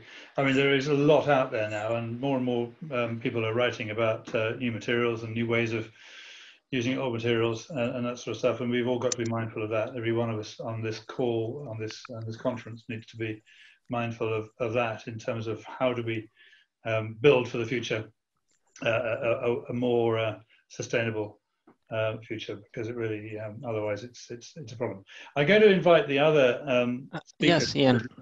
This is Paolo. I have a question for Nick, if I if I may. Um, and first of all, great great presentation. I really enjoyed it, uh, being a bridge person myself. Um, on the uh, the approach viaducts to the Birmingham station, um, there was one proposal was to have, of course, the viaduct supporting the, the line, and then kind of retrofitting some buildings in the public realms below it. Yeah. Has a, a more kind of radical solution whereby you don't have viaducts, but you construct actual buildings where you can provide facilities, buildings which would have uh, the lines effectively supporting a, a roof level. Uh, something like that, a bit more radical being considered? Um, I'm sure uh, I'm sure all kinds of solutions have been considered in the in the sort of ten years that HS2 has been sort of incubating. Um, the, the reality of the, of the Act, the powers of the Act, um, which allow HS2 to be built and what has parliamentary consent, um, very much limit HS2 to uh, working within the limits of deviation and providing the structures that have been illustrated or examples of which have been illustrated in the parliamentary bill. Um, and it's about building a railway. So while, you're, while we're building a big linear infrastructure project and you think, well, actually, why not put you know, a fiber optic spine in with there or, or a kind of, you know, um, the act only allows you to build the railway and, and things uh, underneath uh, would be uh, in collaboration and partnership with local landowners, uh, local city councils, and therefore can't be relied upon um, to hold up the railway. Um, I'm, I'm, not sure if that directly answers your question, but it's, it's, it, I, I, th I, think you're, um, you're absolutely right. Um, but unfortunately, the, the way the legislation works does make it challenging to be a bit more radical with these things. Okay, thank you. So um, thank you for that question, Paolo. Um, I'm going to invite the other two speakers from this morning, uh, Steve and Sahar, to, to turn your microphones and cameras back on. Um, and um, please uh, open up the dialogue uh, both between the three of you uh, and also um, from anybody to ask any questions for our three speakers. So uh, who wants to, to go first? There is a question here from, from Jeffrey Haynes on the, on the Q&A here about using the spaces underneath the viaducts uh, for new buildings. Was there um, an idea of constructing buildings and other structures underneath the viaducts seen as viable? That's one for you, presumably, Nick.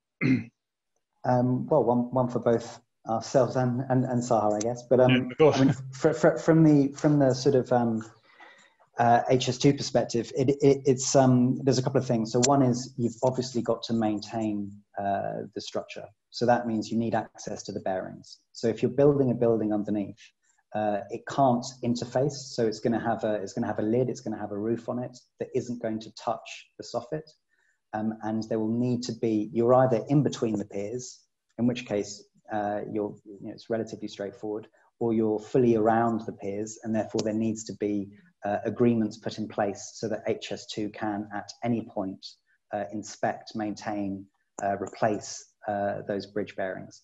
And there's obviously the, the, the, added complication of any foundations for those buildings and how that could potentially interact with the foundations of the piers. Um, but it's been looked at. It's all eminently possible. Um, you know, we're, we're looking at significant spans here um, and uh, a significant structure. So yeah, absolutely. Thank you so much. Um, so, I mean, obviously we are talking about uh, carbon a lot, and I think we should be, and, and it, ought to be kind of number one. And Clotilde has raised the question about doing the calculations. Um, is there actually a carbon calculation on, done on these projects now? I mean, it may not have been done when you first did it, but uh, somebody ought to be doing this now as a as a matter of um, course, particularly because the companies represented have all signed that declaration that was referred to earlier. Yeah, no, I'll, I'll just come in onto that. So we're, we're doing quite a lot on this, and I know that other organisations are as well, and we, we're developing our own uh, carbon calculator tool um, because it is really important just to fully understand the, the, the, quantities of carbon that are involved with the, the sort of schemes that we design. And you're right, it's, it's something that maybe wasn't as high up on the agenda, but it really is right at the top now. And, and that's something that on a lot of new projects that I'm finding is that that is an important consideration. It's got to be number one, um, absolutely. What about you, Nick? Is that something which, uh, I mean, it's, it's, perhaps more in the engineer's domain, but uh, is it something which you guys are uh, alert to? Uh, definitely alert to. Absolutely, we've signed. Um, we've signed three. We've signed architecture declares. We've signed uh, academics declare and we've signed construction construction declares. The, signing, so the signing's the easy bit, isn't it? We've, we've declared we, exactly. We've declared a lot uh, in terms of what we're doing. We're um, we're currently looking at uh, bringing on board uh, expertise um, uh, in house uh, full time to look at this because uh, at the moment, I mean, we're we're a, we're a you know we're an SME. We're a we're a studio of 100 architects in central London. Um, we're not uh, a, a, global, multidisciplinary, international um, engineering firm with, with, with, those sorts of resources. Um, but we're taking it very seriously. Uh, we collaborate with uh, those that do have that expertise. Um, and on the HS2 project, we've been working very um, uh, closely with our engineering partners, looking at developing the new BREEAM infrastructure standard uh, as part of HS2. um, and uh, contributing to the overall uh, analysis uh, of the whole project and our patch within it. Yeah. So how, how, is, how is this uh, area of uh, interest affecting you and your work, do you think?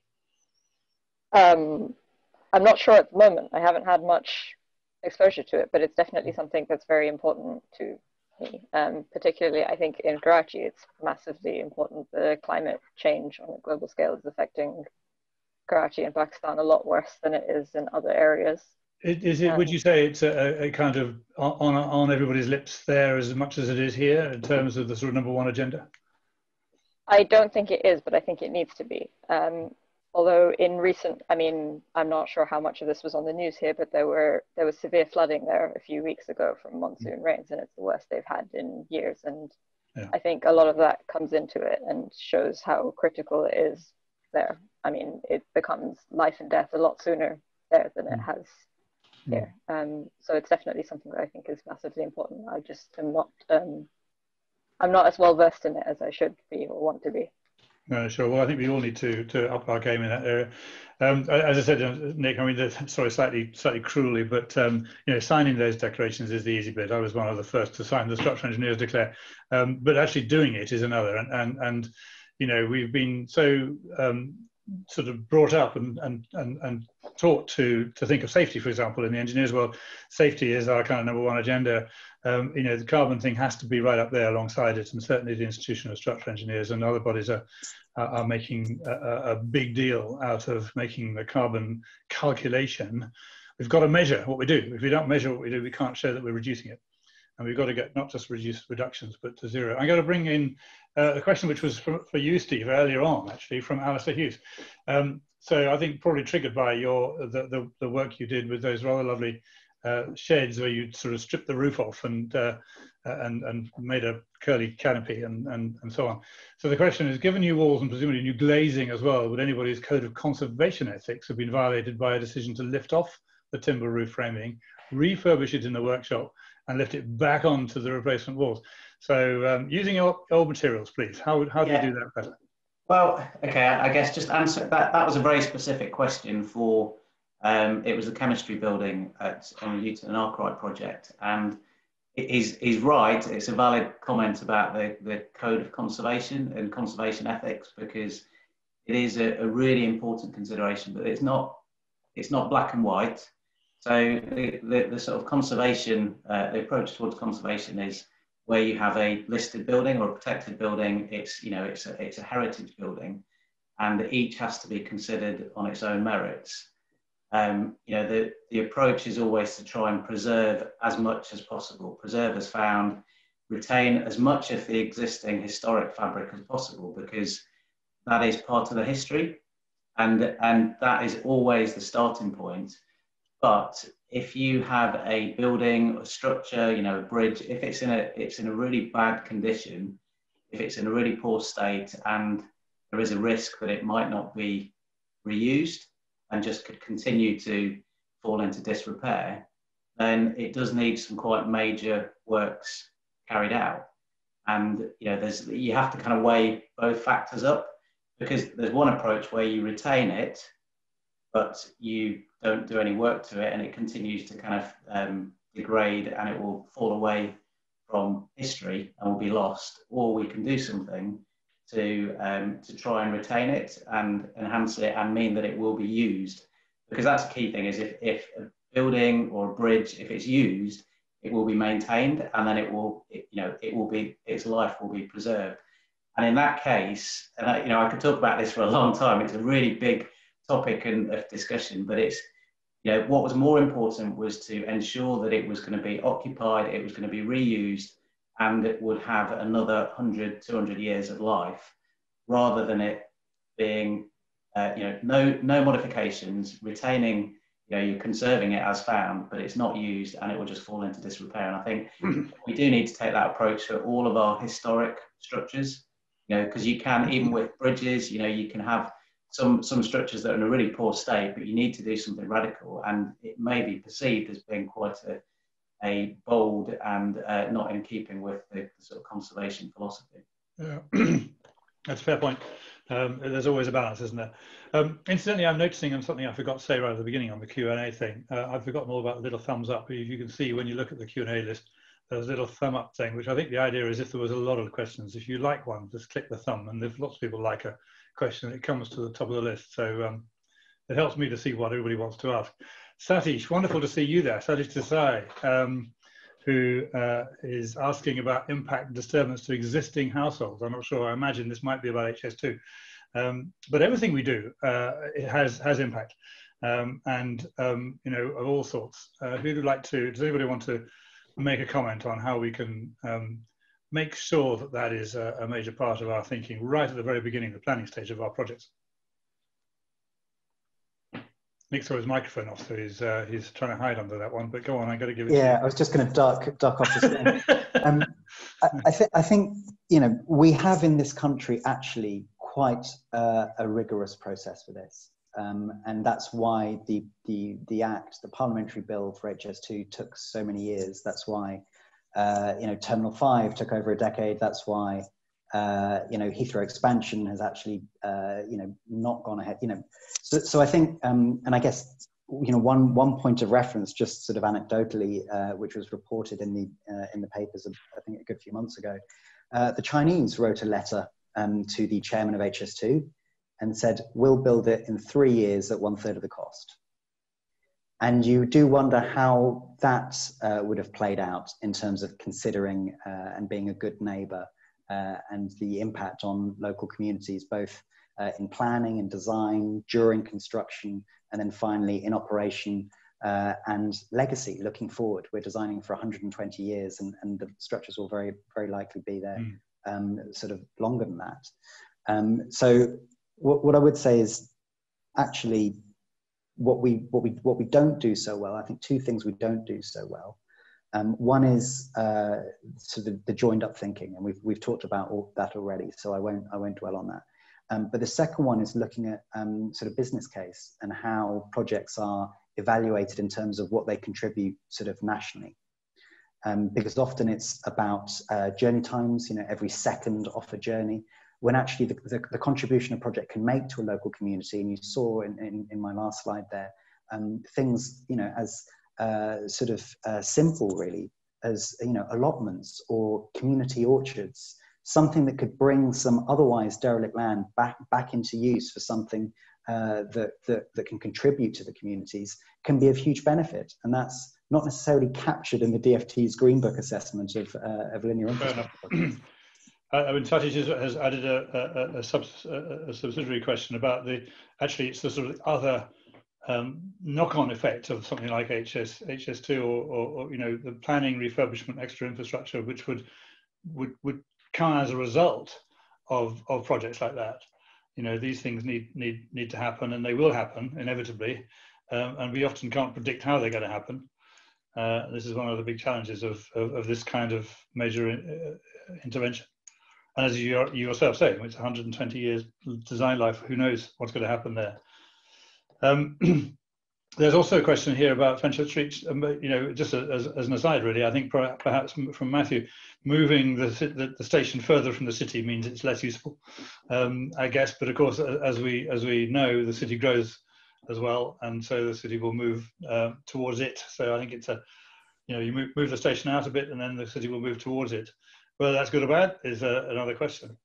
Um, just at the top of the list there, um, we've talked about COVID a little bit, but I think it might be quite good in the last few minutes of this uh, this session to just to, to, to reflect on on COVID and, and how COVID is is affecting our lifestyles. We're all sitting at home probably. Um, some may be in the office, but we're, we're, we're, we're living in a completely different way to the way we lived six months ago.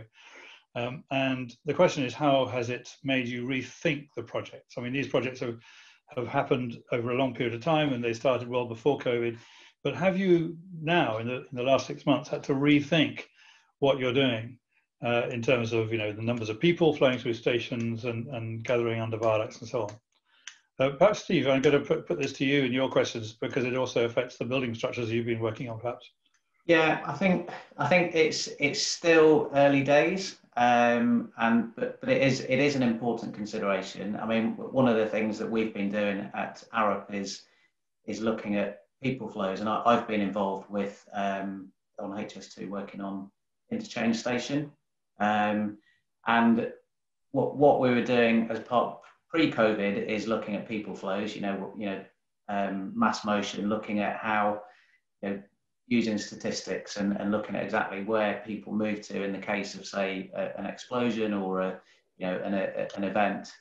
Um, and what, what we've actually done recently is adapted the software um, to kind of you know, maintaining social distancing and then looking at what impact that has on, for example, the station. You know, so if you're if you're having to maintain two meter distance between people, um, do you end up finding that there are pinch points? There are um, areas that are, you know, there's overcrowding, um, and where where we would need to adapt the designs. And I think that's that's it's still in its early days, and you know whether it's two meters, whether it's a meter, there's there's a whole load of considerations that will evolve and develop. And I think it's just something that we have to be able to adapt our designs to reflect that because you know at the start of the pandemic it was two meters and we, we couldn't just we couldn't radically change all of our designs. You know, if you design a building, you can't introduce additional exits and entrances, um, you know, more wider corridor spaces. And I think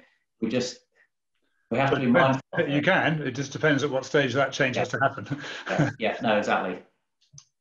Sahar, I mean, I know it's not specifically directly relevant, perhaps, to that study you did, but uh, would you like to comment on this this challenge we have uh, facing us? Um, I mean, I think the biggest thing that I was thinking about, well, I started this project in January, so just before COVID started, and then working on projects designing spaces where you want people to meet and interact while you're sitting locked at home being told not to meet and interact yeah. is a really weird situation to be in. But it's also, I mean, I don't know, I mean, we're all hopeful for a vaccine and a solution that will allow us to go and socialize again. And it's I find it very difficult to understand how many radical changes should be made to the way we design spaces based on something that we all hope is short term. Um, yeah, yeah. It'll be interesting this afternoon, not this afternoon, in the second session uh, after the break, uh, we're going to be uh, hearing about some designs for footbridges designed specifically for social distancing. Who knows whether we're going to need to have to do that. Uh, obviously, if a vaccine comes along, things may change. Nick, do you want to just add your Tuppence worth on this topic? Yeah, I would just echo exactly what Sahar has just said. I, I think um, we've got to be careful here not to suddenly decide, right, we need to design for two meter social distancing for projects that are being designed for the next 120 years. Mm.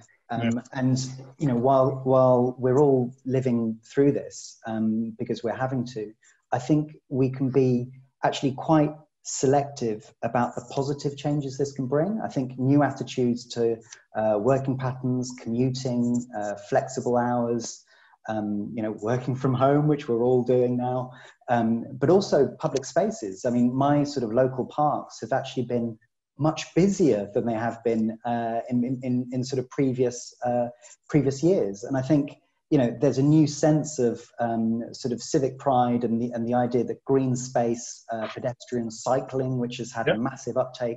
Yep. Uh, so, so, I think there's, there's positives we can take out of this. Absolutely. And we're valuing. And we need to. We're, we're valuing different things. I think this, you, you know, we've, we've, we've all sort of stopped dead in our tracks and had to reevaluate things. Um, and, and that is having a fundamental effect, not only on our, on our own lives, as you say, whether we go to the park or not to use a bike, but actually also in the way we're designing and thinking about the future. Um, Matthew raises a very good point. I mean, if social distancing was going to have to continue, then the whole issue of public transport and public realm becomes a completely different one.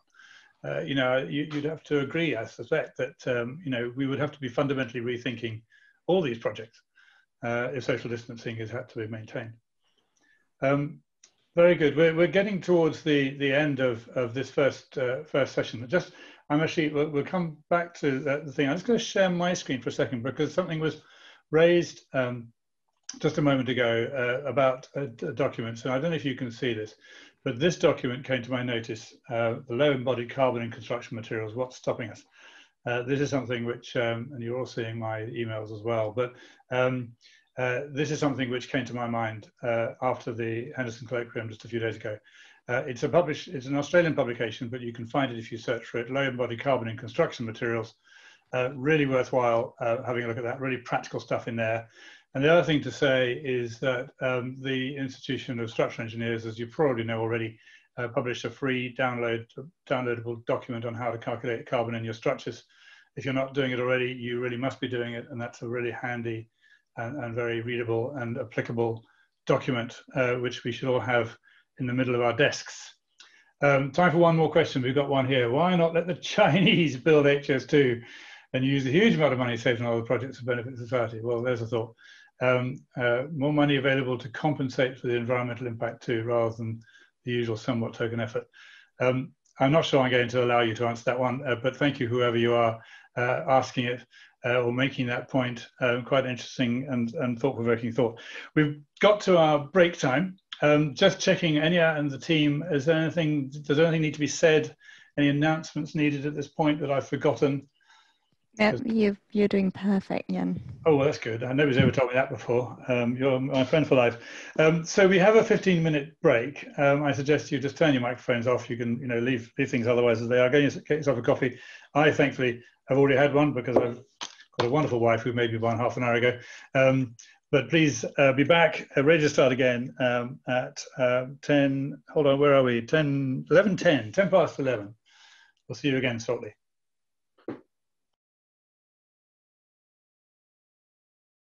So people are coming back. I hope we've got 100 people currently hooked up. There's a question from James Parsons just now, which I managed to dismiss before I answered it. Uh, so apologies for you, to you James. Uh, but you were asking the question about how many people were joining us. And uh, I think it was up to about 123 at one point. Um, we're currently just around about 100. Uh, but this is good to have such a, a good, uh, good turnout, as it were. Um, lovely to, to know that you're all um, hooked up wherever you are. So um, we're going to get uh, started again. I hope you all managed to have a cup of coffee or tea or whatever you had. And um, we're going to start shortly into our second session. But just before we do that, uh, an opportunity to talk about IABSE for a minute and um, just to plug a couple of events which you can see on your screen. Um, IABSE, as I said at the beginning, uh, International Association for Bridge and Structural Engineering, it's a bit of a mouthful, which is why we only ever say IABSE, um, uh, is uh, worldwide. We have, I can't remember now how many countries, 100 or so countries uh, represented uh, among our membership.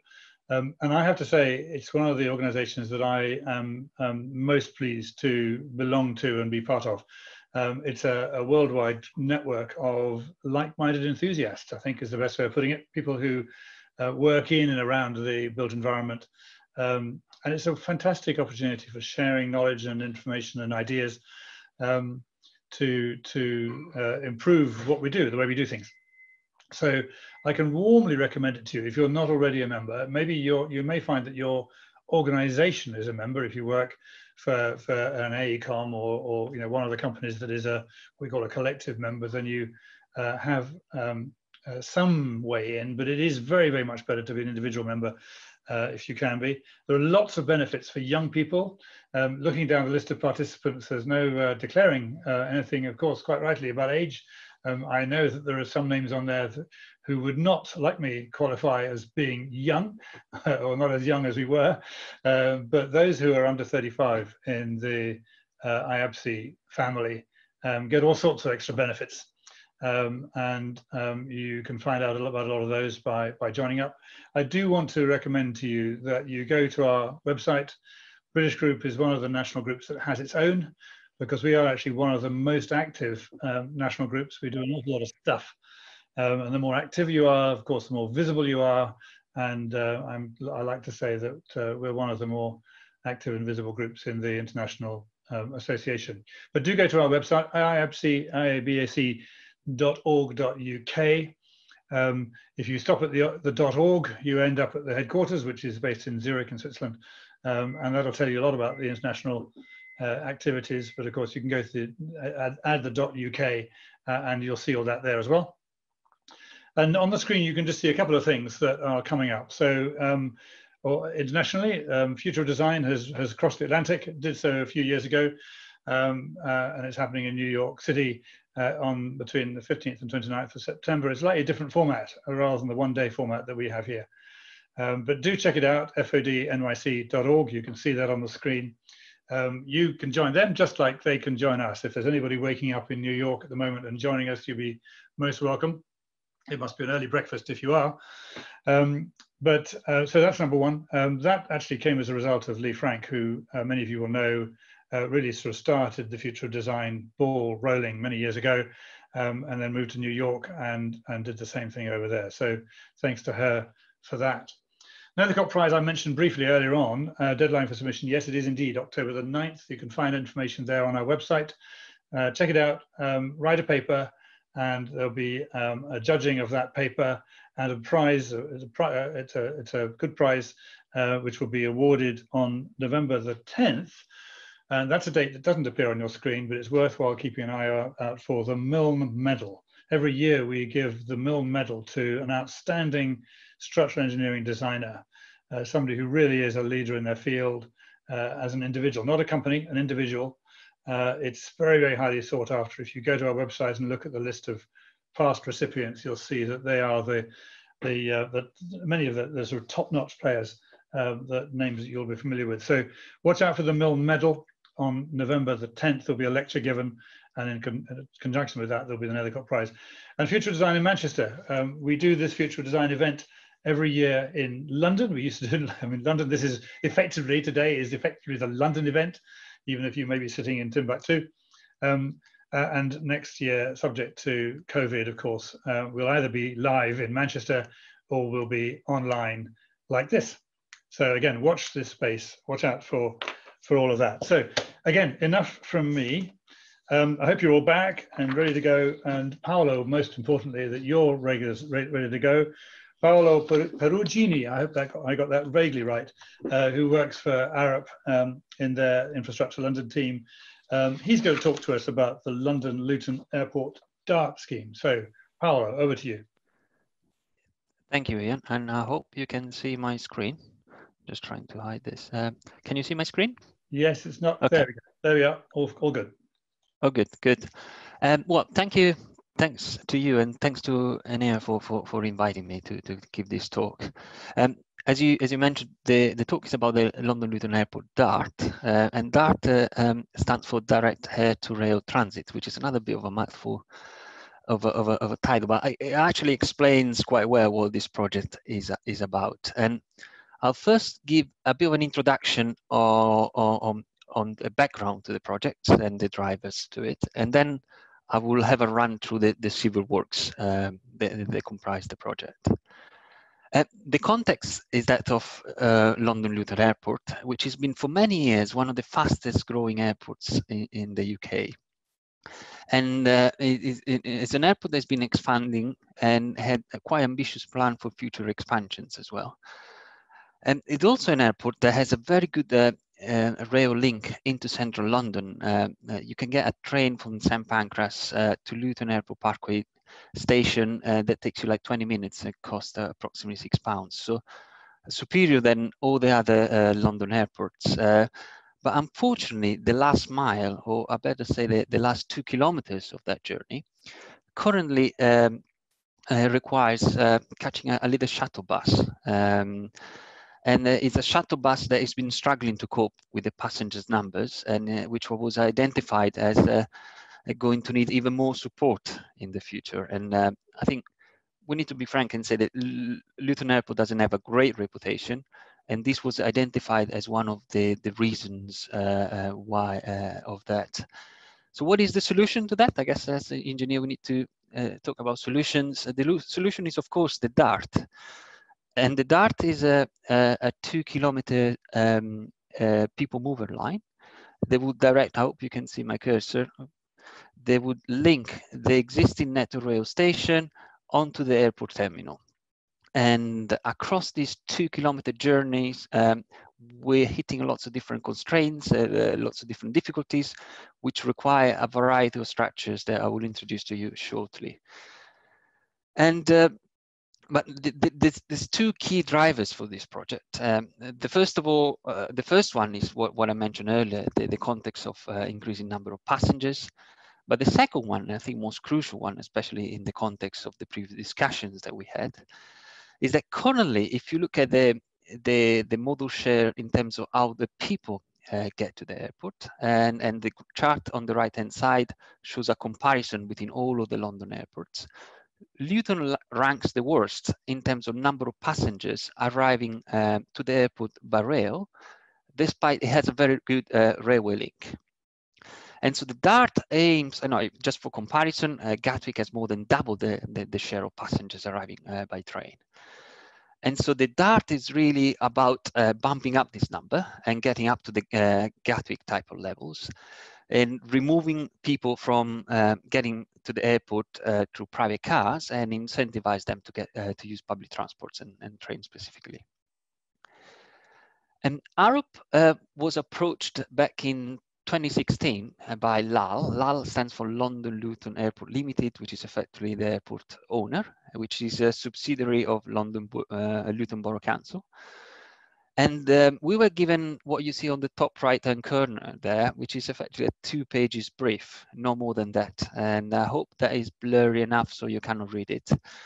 But um, one of those lines tells you that they wanted the DART to be open in 2021. So we had our work cut out there. Um, and we embarked on a very fast journey where we helped our client understand what they needed and uh, what was the best solution for that. And then we breezed through concept design, costing, establishing a costing baseline, setting out the tender documentation, doing a scheme design, achieving full planning permission uh, from two local authorities and persuading a number of uh, major stakeholders. All of this in 14 months. Um, you know, which is in the context of what we were discussing earlier, our project takes decades, uh, I think is quite extraordinary. And few months after, uh, the main civil works contract, uh, in which is you know contract value over 200 million pounds, was awarded uh, uh to Volker Fitzpatrick here. I, will refer them as VFK, uh, who appointed uh, Tony Gee and Partners as detailed design. you're going to see lots of nice pictures of the construction, and full credit goes to VFK, who are doing a fanta fantastic job. I mean, we had it uh, quite a challenging job in doing this uh, very short time. They certainly have a, a, a, challenge to deliver the project in, in just over four years. Early on in, in the in the concept phase, uh, we recognized that you know the, the the standard way of going about procuring this project was that of a uh, an overall uh, D&B contract, uh, where you just let one single contract, which need to sort out all of the key issues. But what we realized is the, the, the, people mover system um, um, market is quite a, a, niche one. And there's really just a handful of suppliers across the world. Um, which means that there was there is little competition, especially if you restrict them to tie up with a with a, a civil works uh, uh, contractor. So we wanted to achieve more value for money for our client, so uh, we made a strategic decision to split uh, the, the, the, contract in two separate contracts, one for the civil works, which is the one won by VFK, and a second one, and separate one for the transport system, which was eventually won by Doppelmayr And we, in doing this, obviously we created a, a clear and crucial interface there, which we had to uh, partially resolve as part, as part of our scheme design. And the client had an aspiration of having a, a, a very high quality airport-like experience. So the, the vision for them was uh, as soon as you step outside the Network Rail realm, you already feel that you arrived at the airport terminal.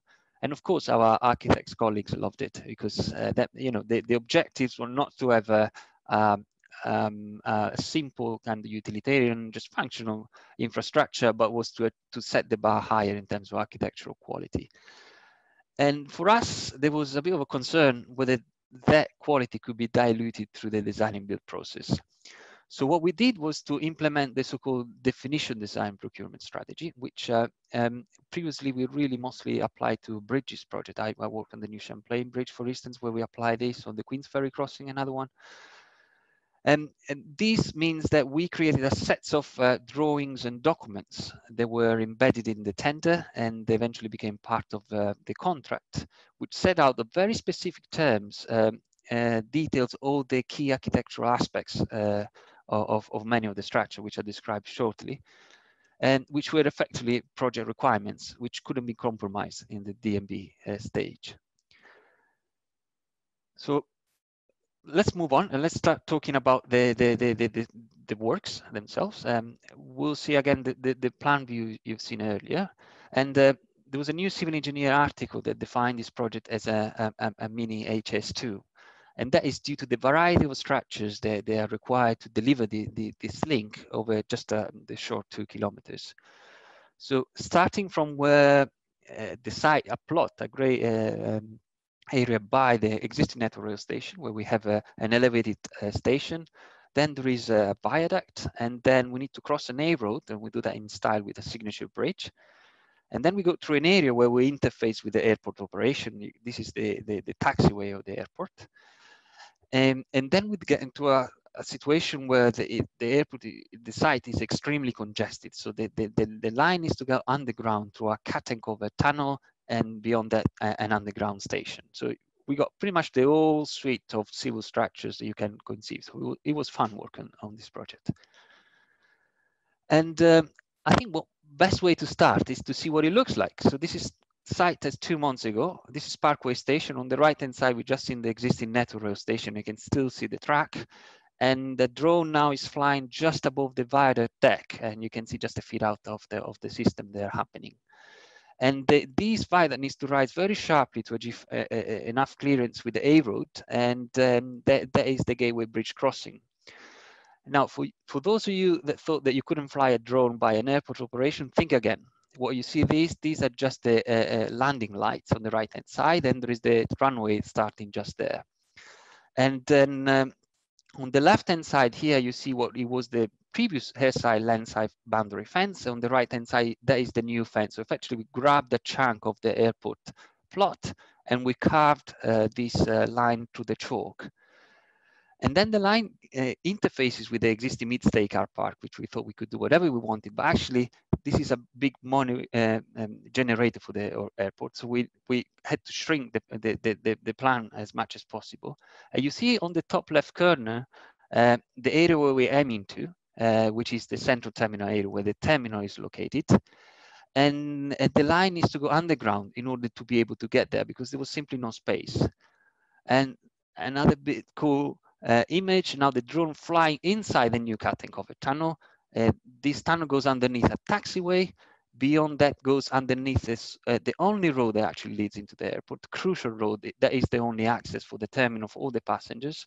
And finally arrives into the new central terminal station. We can see this is the place where the new platform would be, the public space, and beyond that, the back of house area and maintenance space for, for the trains. Uh, this was quite a journey. I think uh, it was just a, a minute. Uh, the, the real journey would take four minutes. So not, not that uh, longer than, than what you just seen. I think now I will pause and I will go through each individual component uh, one by one and highlight some of the key features. And we start again at Parkway Station. Um, I already mentioned this is a, an elevated station. And uh, our architects has this vision of, of, delivering the station through parasols, which is you can see a, conceptual sketch just on the on the left hand side there, which are effectively are mushroom structures. Um, and, and, this is so that you will have uh, as much natural light as well as natural ventilation coming from the sides of the station. You wouldn't feel constrained by, by the structure on the outside.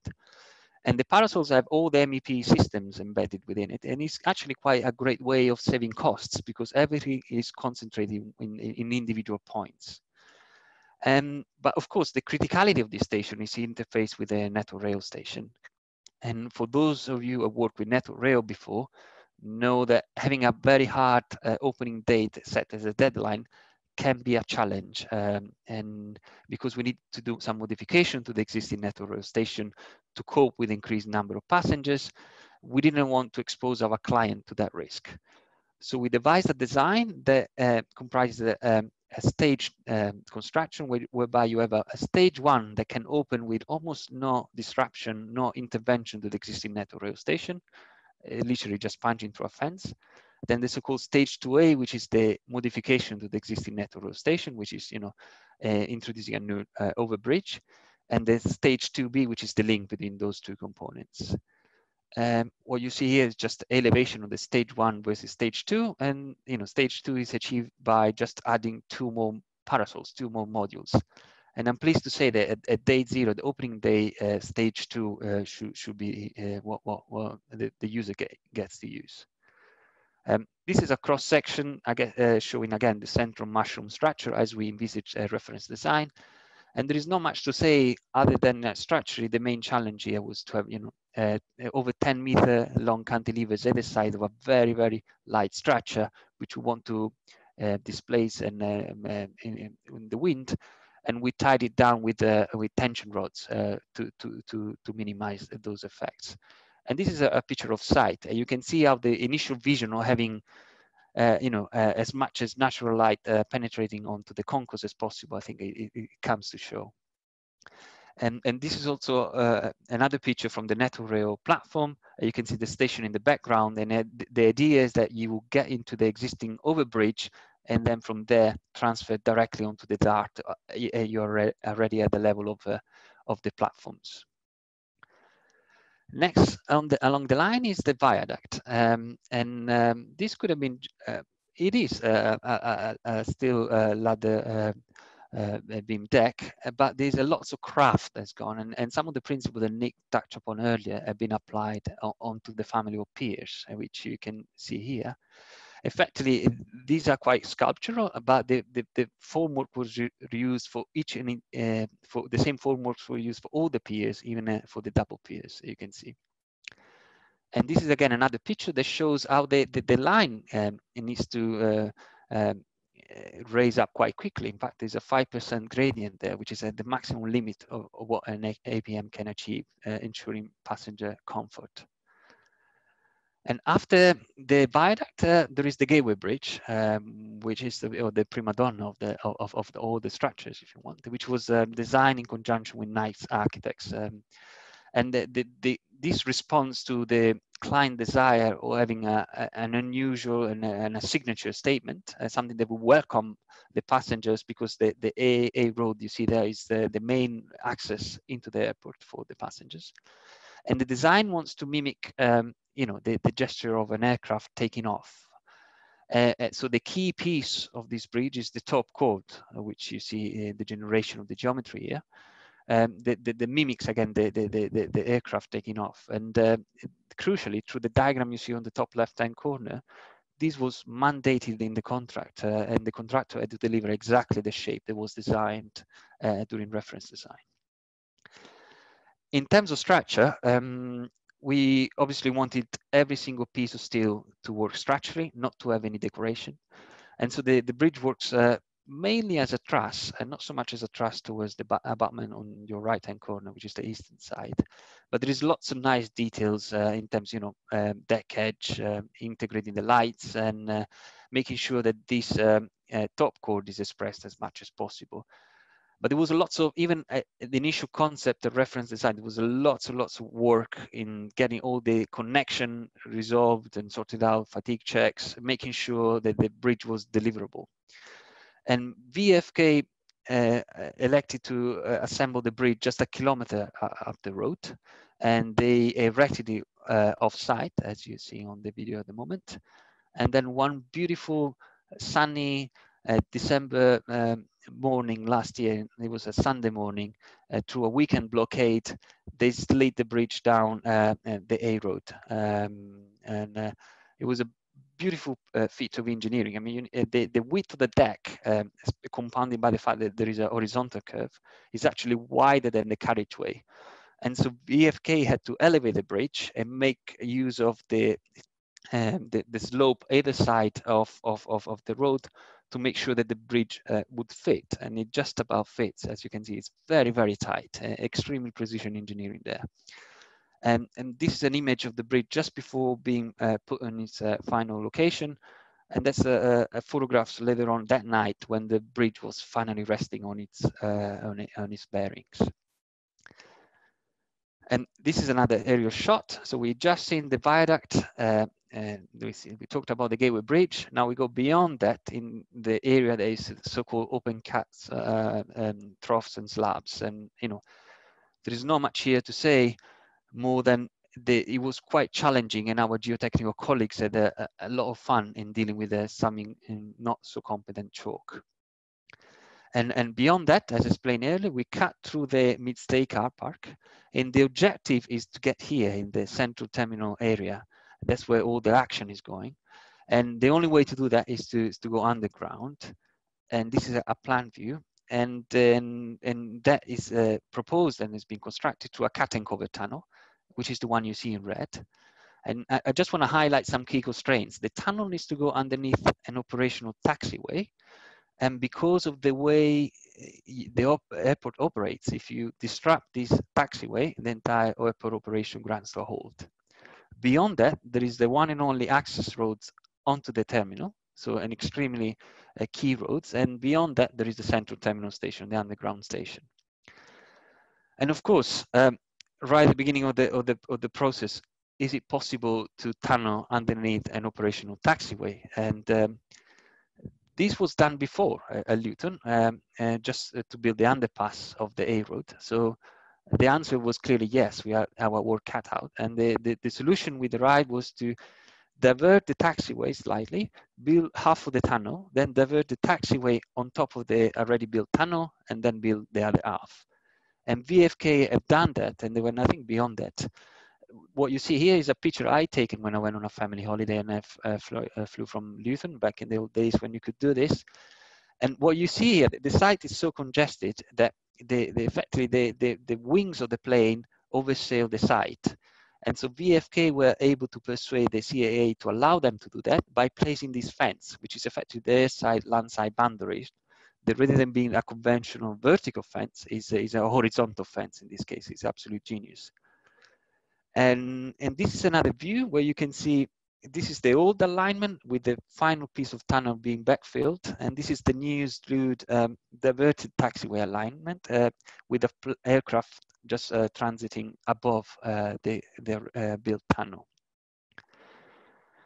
We move beyond the, the, the, taxiway area and, and, and, as, and this is the area where we need to tunnel very close. In fact, these roads were needed to be um, shuffled a little bit.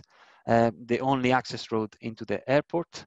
And this is quite conventional cut uh, cover uh, bottom-up operation for the, for the contractor. And just when you thought there wasn't enough constraints there, just uh, three or four years before this uh, scheme was uh, devised, uh, and, they built a new footbridge whose foundation piles clashed directly with the only possible alignment feasible for the tunnel. So we devised this, this way that the, the, the, the, the existing foundation needed to be um, supported on top of the new cut and cover tunnel. And VFK um, cut the piles and supported this bridge on, on hydraulic jacks for a couple of months whilst the tunnel was being built. And you know it was quite extraordinary to see people going uh, back and forth on the bridge deck with their trolleys, going to the, without even noticing that uh, the bridge was supporting on jacks. Uh, absolutely great engineering there. And we finally arrive uh, at, the, at, the, last stop, which is the central terminal station. Uh, as I mentioned earlier, this is an underground station. Just one the, minute, please, Paolo. Yeah, uh, got two slides, no more. And the parasols here are repeated, and this time they allow natural light and, and, and, and air through the station. And on the elevation, you see the parasol area, which is the public space area, and the back of house, which is actually even longer, which is uh, uh of a different construction. Um, this image kind of show the congestion of the site, all the different constraints. Uh, I could uh, talk for hours about this. And I'll just close with a few images uh, of the construction. This is the public area. You can see the still work with the parasol. This is just before the lining wall were cast. And this is a view from above, uh, which is the same view that the passengers will see just before uh, getting onto the escalators to go down a, a, a platform level and a couple beautiful shots of the top-down construction of the uh, back of house uh, box. Thank you very much. Thank you, Paolo, very much. That was uh, very, very interesting. Um, uh, what strikes me, um, please do uh, come along with some questions, folks. Um, put your questions on the Q and A. What what strikes me uh, is the uh, the variety of, as you said it yourself in the presentation, the variety of, of disciplines, of structural typologies, of, of, of things that you had to deal with uh, on on the job. I mean, just briefly, your own role. Um, where where did you fit into that uh, sort of network of, of skills? Uh, what was, what was your job? I was the, the structural lead. Uh, so I was overseeing the structural design or all the structures that they just described. Um, so okay, there's a lot of different kinds of structures. There. Yeah, I mean I have a, a bit. Of, well, first of all, there's two things. In our team in Arup, we we are called CSBT, which stands for Civil Structure, Bridges and Tunnels. Um, so we our group, which is approximately 70 people, has um, a range of structural engineers that deals from the big uh, bridges on one side, uh, the civil structures, and then the tunnels on the other side. And we work as a fully integrated team because we recognize that there is the need to deliver those type of projects. Sure, sure, yeah, no question. Um, and myself, I have a bit of a strange background. I started as a tunnel engineer. In fact, I did a design, did a design of the Crossrail bored tunnels, and then uh, I decided to go over ground and moved on uh, to bridge engineering, and that's what I've been doing for the last eight years. Yes. So okay. that, that helped me a lot in dealing with. And, and so, so for you, what, what do you think? All that kind of variety of stuff. What do you think was the most complex and challenging, maybe highest risk uh, aspect of the project? Um, I mean, each one of those is challenging on its own ways. Um, and I guess uh, for a purely structural engineering terms, uh, certainly the Gateway Bridge uh, was, uh, you know, dealing with uh, an unusual structure with very high stresses there. But in terms of big risks, where the big money for our client, uh, you know, big risk allowances were. Um, clearly, uh, tunneling under a live taxiway upon sure. which the whole airport operation dependent, that was the, the, the major, major, major risk. Yeah, yeah. And the second risk also was the interface with the Metrorail station and now to integrate the two stations as much as possible within the time constraints of opening in summer 2021. Yeah, you you say the bridge. I mean, obviously, as you know, I'm a bridge man. Uh, you say the bridge was very highly stressed. It's not exactly the most efficient uh, of structural systems, is it, for, for that bridge? But it's uh, it's very interesting. I'm not going to uh, uh, enter that comment. Somebody else might want to raise comments on the bridge. So we have some questions here. Um, uh, car park. George has mentioned something about the car parking. So car park is a large income generator for the airport, but of course this is going to change that, isn't it? Um, because the number of people driving to the airport presumably is therefore going to reduce. So how does that work in the sort of cost benefit analysis of the uh, of the project? Um, well, I'm not too sure whether that is going to change. I mean, the the car park is uh, uh, almost 100% uh, utilized throughout the year, and uh, I don't think so much at the moment, but it certainly was. And in the although the, the modal share in terms of passengers, there will be more share of passengers arriving by train, the overall number of passengers arriving to the airport uh, uh, is due to increase. So the, the user of the mid-stay car parks uh, uh aren't necessarily going to decrease. Uh, you know, there is already a number of private uh, sites around the airport perimeter that, that, that, that trying to keep up with, the, what, with what is currently an extraordinary demand for, park, for parking around the airport. So I don't think there is uh, so much uh, in terms of reduction of need for that. In fact, quite the contrary, um, there is the provision to have an intermediate station at the mid-stay car park in order to service it better. Yeah. Okay, very good, thank you. Uh, Stephen Walsh has a very good question. Um, you remember the, the, collapse of the Florida International University um, bridge uh, which was sort of installed in a very similar way. Obviously, there's some big differences between these two structures, yeah. um, very obviously. Um, but oh, you know, maybe there were some lessons learned. To, to what extent did did that happen? Because that must have been that must have happened in the middle of your um, um design or construction period. Um, what lessons did you learn from that? Do you think? Um, well, first of all, we need, we should say that in our reference design, which was submitted uh, for information as part of the tender, we actually came up with three different ways of erecting the bridge, and one was the one that the contractor um, implemented uh, in their own way uh, uh, slightly. So we had either the wheeling down the bridge down the road, or uh, putting like a deck uh, above the A road and kind of assembling it there, or or, or launching it into place, and you know the alignment allows for that. Um, you know, the, the, these are two very different structures. Uh, I know the Florida Bridge, it was a concrete bridge, was showing uh, high signs of distress, implementing some new type of connections there. Um, and, and, and this was completely different. Um, sure, uh, sure, sure. And, and so we, we read the report with great attention. In fact, my colleague uh, um, uh, Charlotte uh, also was doing a study regarding uh, that technology. So, you know, there was great interest within the group. Um, but in terms of directly applying some findings to these projects, um, uh, I, I, don't think there were there were many over and above. You know, no. I think we have a line on the drawings to say this is uh, quite special um, engineering, uh, and, and, there is the the need for a, an extremely competent um, um, um, detail designer is able to deal with that. With the well, I'm very glad you say that. I'm glad you raised that. And I think this question, although you know maybe looking at technology, uh, technical issues, I think there are um, issues around competence and procedure that, that this raises. And I'm very glad you, you raised it yourself because I think this is an important point. So, you, you, know, although yes, you can point to technical reasons why that particular bridge collapsed, um, you know, there, a lot of them actually to do with who had the right eyes on the job at the right time. Yeah. And I'd just like to ask you the question in the context of a design and build project that you had here. Yeah. Yes, you, your team had obviously already done the design uh, to a certain level. You'd already done some erection analysis to a certain level. But then at point, one point, you hand over to a contractor who's got to pick it up. Yeah.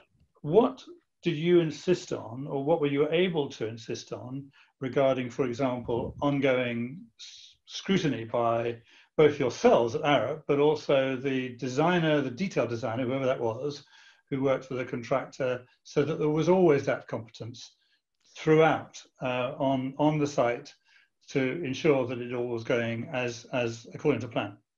Um, so we as Arup are uh, still part of the project. We are the engineer of record. So there is a, a number of colleagues of mine, uh, some of which I think are also online, uh, uh based on site, who support uh, our client, which is the, the ultimate client of the project, and, and, and review the deliverables um, and, and, you know, and, and approve them.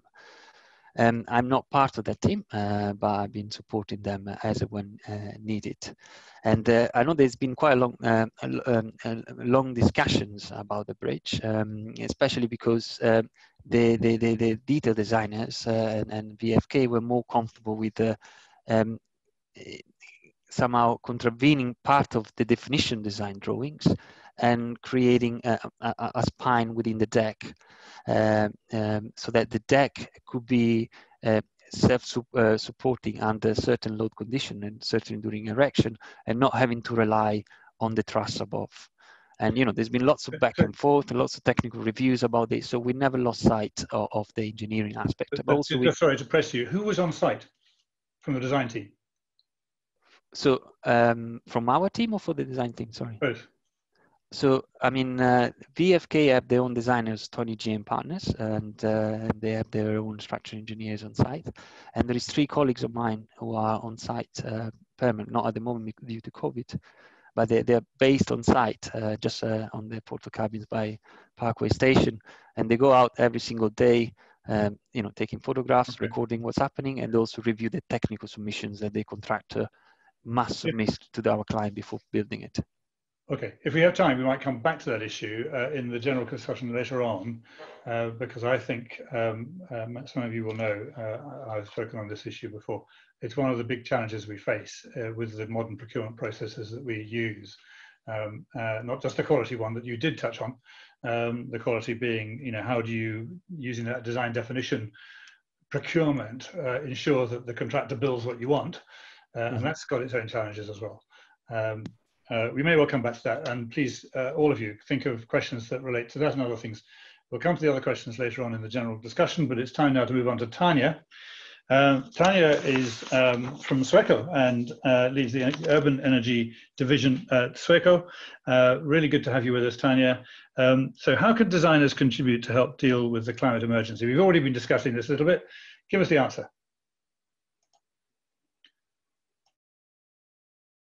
We need your microphone on. That would help. Your mic there, there, we go. There Sorry, yes, I was uh, sharing screen, then I was like, where did the unmute mic button go? So yes, that's right. okay, we're yeah. good to go. Thank you. Yes, hi. Uh, so I am Tanja, and um, as Ian said, I lead the uh, urban energy unit at SWECO, uh, which consists of about 25 people. Um, and we were launched January this year, actually, specifically to target the challenges that our public and private sector clients are facing in the wake of the climate emergency. So that is the raison d'etre for our entire unit. Um, it's been absolutely fascinating to listen to all these keynote speakers today. I'm not a structural engineer by background. I'm an economist by background. Um, and most of the most of the guys in my team are, are, are engineers of one type or another. A lot of civil engineers, um, structural engineers sit in another team. So I've really been enjoying the um, presentations today. Uh, particularly, I've noticed that you guys have access to a lot of great pictures, which we don't so much have in the kind of integrated energy systems side that I tend to deal with on a day-to-day -day basis. Um, and Ian, I also wanted to flag, I was looking for a kudos button earlier actually, because you were just so consistently bringing up the importance of thinking about the climate crisis and how to address that in design throughout today. And it was so great. I was cheering you on, but yeah, I didn't want to interrupt you while you were doing so. Um, so in terms of what I'm going to be speaking about now, I'm conscious it's about lunch. Um, Ian said earlier that this is that you know he he wants this to be informal. I'm all about embracing informality. I've timed this. Um, if I'm speaking uh, my normal pace, it's like a 10 minute run through. So I, that means I'm probably going to start waffling at some point during the presentation. Um, but kind of the key thing here is climate emergency is a big topic and particularly on how designers can contribute to dealing with the climate uh, emergency is a big topic. Um, I've been, I was chased earlier this week um, by our marketing team because they wanted more details about what exactly the topic was going to be covering today. Uh, and uh, to be honest, I had no answer to them, so I still haven't gotten back to them because I was still thinking about it this morning. I actually woke up at 5 a.m. this morning thinking about what I wanted to talk you guys through. Uh, and um, yeah, um, and to start with, I mean, do I, do I talk about what I could talk about, for example, what Tim and Steve and my team are doing. Tim and Steve, uh, when uh, they joined the company and, and over the last couple of years, they've become increasingly focused on the climate emergency. Um, to the extent that they've been campaigning internally that we no longer design natural gas CHP systems. So no more combined heat and power off of natural gas because you cannot be putting in natural gas combined heat and power uh, this year, next year, two years from now and say that you're still in line with uh, these signed declarations of climate emergency um, that we're seeing in all the councils. How can you, how can you possibly be justifying that? So they've been campaign, campaigning internally that we should stop designing them um, with great success in the sense that we've lost quite a few clients who wanted us to install natural gas combined heat and power. And we've been saying that, well, it doesn't actually make any sense from a carbon perspective. You're setting yourself up to pay a huge amount of money 10, 15 years down the line when you have to pull out all of that infrastructure and try and see if you can replace it with a large scale heat pump on the same site, which hasn't been selected for, for its suitability for heat pumps. Um, so I could talk about what they're doing uh, in a professional capacity internally. I could talk about um, what they're doing in a private capacity. Uh, Steve's putting in a ground source heat pump as part of the base supported uh, heat pump scheme at the moment in his house. Um, Tim bought an electric vehicle recently and he's been sharing all of his insights on which electric vehicle is best suited depending on where you live and what and how much you drive every day and um, they're running internal campaigns on that. I could talk about Kirsten, uh, who's an activist in, in our unit. She's involved in the 2050 climate group. She's involved in the UK Youth Climate Coalition. She's also a STEM ambassador and she does that all alongside working full time also on carbon, uh, on carbon and dealing with the climate emergency. Her life is essentially fully around the climate emergency. Um, I could talk about each and every person in our unit and also more widely across the business um, what they're doing specifically to address the climate emergency as designers profession professional capacities but also as individuals because the climate emergency is something that we we have to address not only in a professional capacity but also as an individual um, I'm not going to do that because it would take much, too much, way too much time. Instead, I'm going to try and concentrate on, on kind of high level lessons learned um, uh, and what you guys can do as designers uh, to help fight the climate crisis. Um, the key issue here, though, like the the two minute version of of what I'm going to be talking about, is that you should should and could all be doing something even if you feel as an individual that you don't have the capacity to inform the transformational type of changes that we need to see by 2050, some of the points that have already been brought up earlier today about how transport is changing, for example, do we need cars? Do we need to plan for cars? Do we even, should we even still be building roads? Even if you as an individual don't think that you have that kind of power, you can still be making incremental changes to, to affecting the climate emergency. Uh, and we need both uh, and we need them now. So on to my slides. And firstly, an apology. Uh, I don't usually give a corporate slide, but I've had a number of really depressing conversations over the last couple of weeks where people had never heard of SWECO before. So just wanted to say that we are the largest architecture and engineering consultancy in Europe. Um, there's 1,400 of us in the UK across 14 offices, um, uh, and we our headquarters is based in Sweden, which is why our name is SWECO um, or at least that's what we assume. We've never seen the breakdown of, of why we're called SWECO, but we've been around for a while in, in one version or another. More importantly, um, actually, can you even, uh, let me minimize this window. Um, there we go. Driving impact through design. Where are the greatest potential areas for decarbonization. This is a, an image I stole from the, or borrowed from the Financial Times, an article that came out uh, in August, so not too long ago. Uh, they'd done some analysis on where the largest sources of our carbon emissions was coming from. Transport, by far the largest. I've also circled residential, business, and public because as designers, um, even if you are mainly focused on on, on rails and bridges, um, as as far as I can tell from today's sessions, uh, you'll still be interfacing with the car with the design of residential, business, and public sector buildings. Um, and as you can see, particularly transport, residential, and business are key contributors to carbon emissions in the UK. Um, energy supply, I've not circled. Um, there's a lot of good news stories in the general press about how we're doing in terms of decarbonizing the electricity supply.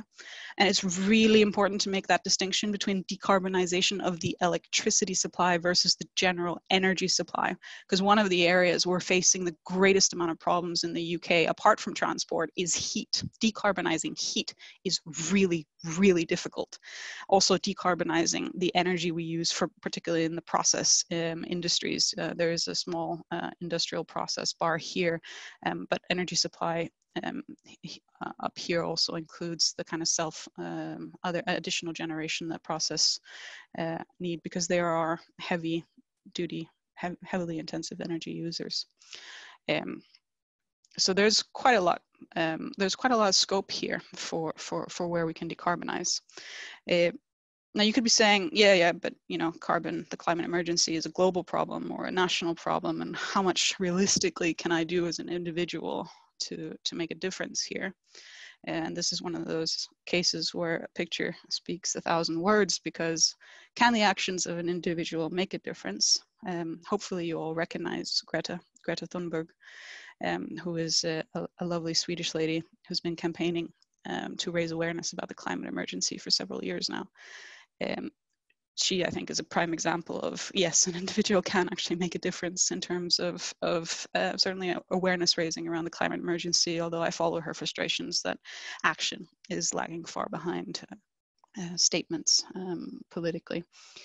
Um, but certainly, you cannot be using the excuse that your contributions as an individual are never going to be enough to make change, because there is clear evidence that that is not the case.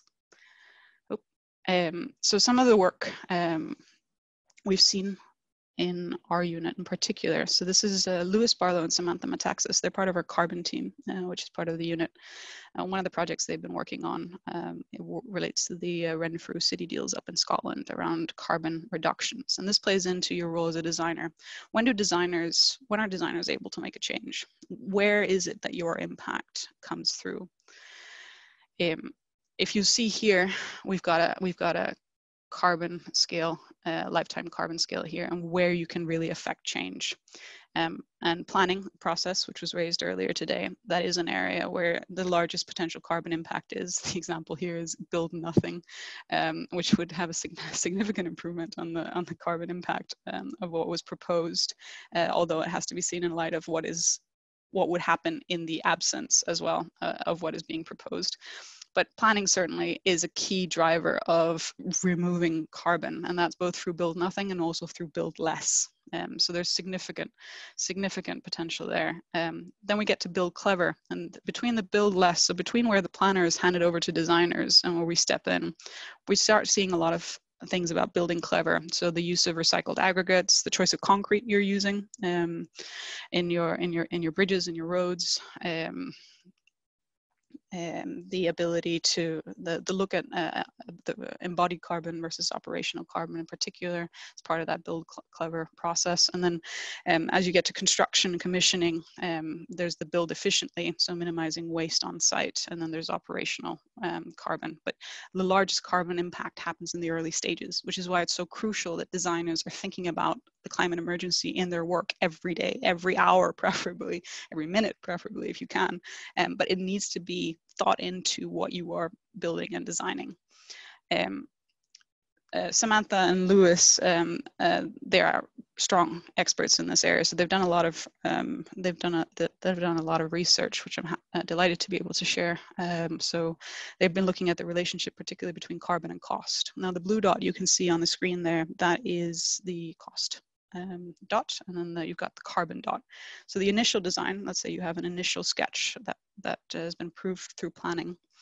Um, you then look at alternatives to that initial sketch. Is it worth building less? And there's a direct link here between cost and carbon in that you can reduce cost and reduce carbon simultaneously. So that's the best of both worlds, really.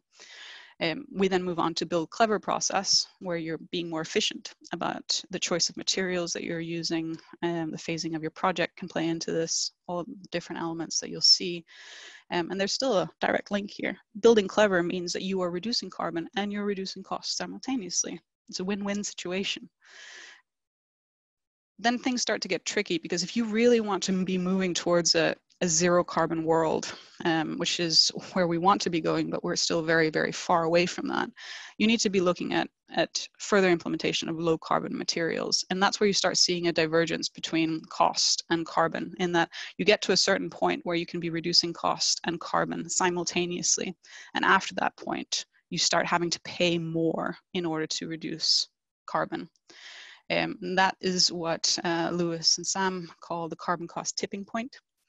Um, what's really interesting at that point is to be checking how much more you're paying per ton uh, of reduced carbon. Because even though ideally you'd want to be seeing that strict linear relationship all the way through customers might be willing to accept a slight increase in costs particularly relative to the original design if it means a substantial reduction in carbon. Um, and what each customer is willing to accept is really heavily dependent on um, what their uh, what their priorities are, how how how wedded they are to um, um, to the climate emergency. Um, I could give you a colorful example of a project I'm currently working on where I'm dealing with um, a public sector client who is extremely wedded to the climate emergency. They're very, very concerned about how they can redesign um, the energy system, city energy system that they have at the moment in order to ensure that they are carbon neutral by 2038. Um, the problem is that it's extraordinarily expensive for them to do so, particularly with the route that they have passed. But to them at the moment, it's a, it's a question of there is no cost so great that is not worth paying. Um, I have raised concerns that I don't necessarily think all of the cabinet members might might agree with that approach, particularly now that we're in a COVID situation where a lot of public sector funding has been diverted to dealing with the um, aftermath of the health crisis, plus the um, the ongoing rising unemployment issues that we're also going to be seeing. Um, and that caused quite a bit of contention earlier this week um, because, uh, yeah, obviously, uh, climate emergency is still the primary concern um, for certainly for for this client, which I think is great. Um, it's just also can be a difficult sell sometimes politically. So traditional engineering will typically take you through that initial design, build less, build clever phase. That's already part and built into most of the engineering consultancy work that we see delivered. Um, but what we're also seeing increasingly now is um, clients are asking for more focus on this carbon cost management. They want to go beyond the build clever phase, which is part of that traditional engineering design stage work. They want to go to the next level and see well, I will accept a surcharge actually, um, but I want to see some, I want to see some real carbon impact based on that extra amount that I'm paying. Um, I'm almost already. Uh, I think uh, I think this might be my this is my second last slide already. Um, in terms of this is a so this is a photo of um, the Leeds footbridge, which is over the River Aire um, in the Climate Innovation District in Leeds, uh, connecting the South Bank to the city centre. Now, the reason I'm showing this picture is um, so this is based on my understanding. Um, structural engineers would be designing uh, this type of bridge in addition to all the, the large scale infrastructure projects we've seen earlier today. This is one of the most beautiful pieces of energy infrastructure that I'm familiar with because not only does this footbridge encourage the use of cycling and walking, which means you're reducing um, emissions from cars. Uh, because this is a, this is a direct link from the new developments on the South Bank to the city centre. So not only are you reducing the transport emissions by by being, getting more people out of cars and onto bicycles and by, and and walking, this bridge also includes um, a pipe, insulated pipe running through it at the bottom. You can't see it, which is able to transport hot water, um, which is heated using waste heat from the Leeds Energy Recovery Facility to the other side of the river so that it can be used to heat properties, um, both private sector buildings and residential homes. Um, sorry, both commercial buildings and residential homes. One of the biggest issues that we face in the energy systems team is that when we are looking at city centers or cities or urban spaces in general, and we have to design or upgrade an energy system which enables full decarbonization. We can look at the map and then we go, well, there's a highway here on the left hand side, there's a railway up here on the north, and there's a river down here on the south.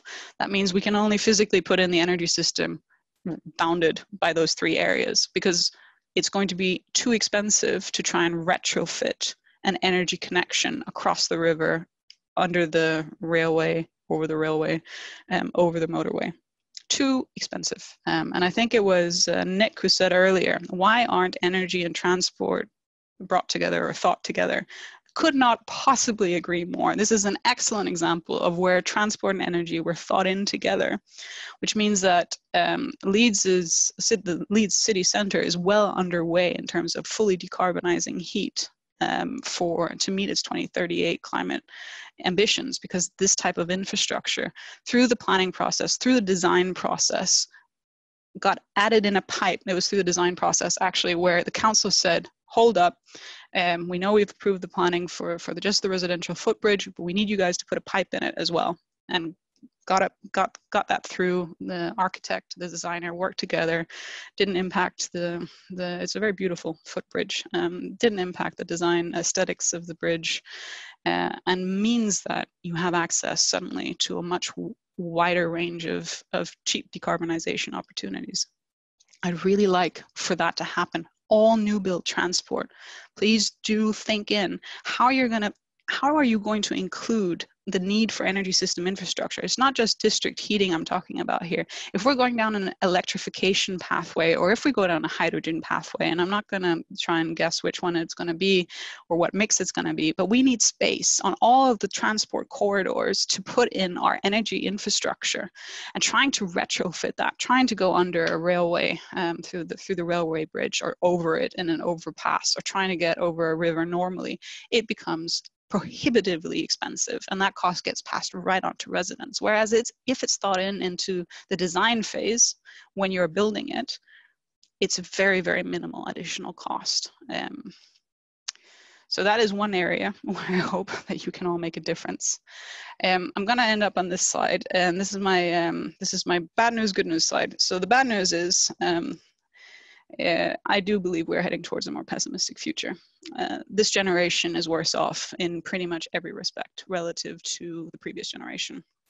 One or two, um, uh, one or two excellent social issues notwithstanding.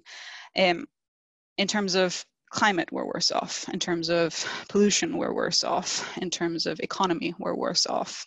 Uh, even queries about education levels um, abound, and health certainly also. It looks like we're we're increasingly getting worse off than the previous generation the next generation is going to be even even worse position because we're going to be dealing with more extreme weather events. We're going to be dealing with mass immigration from areas which cannot no longer support a popula- uh, populace. We're dealing with increasing political tensions because there's fights over water, there's fights over land, there's fights over energy.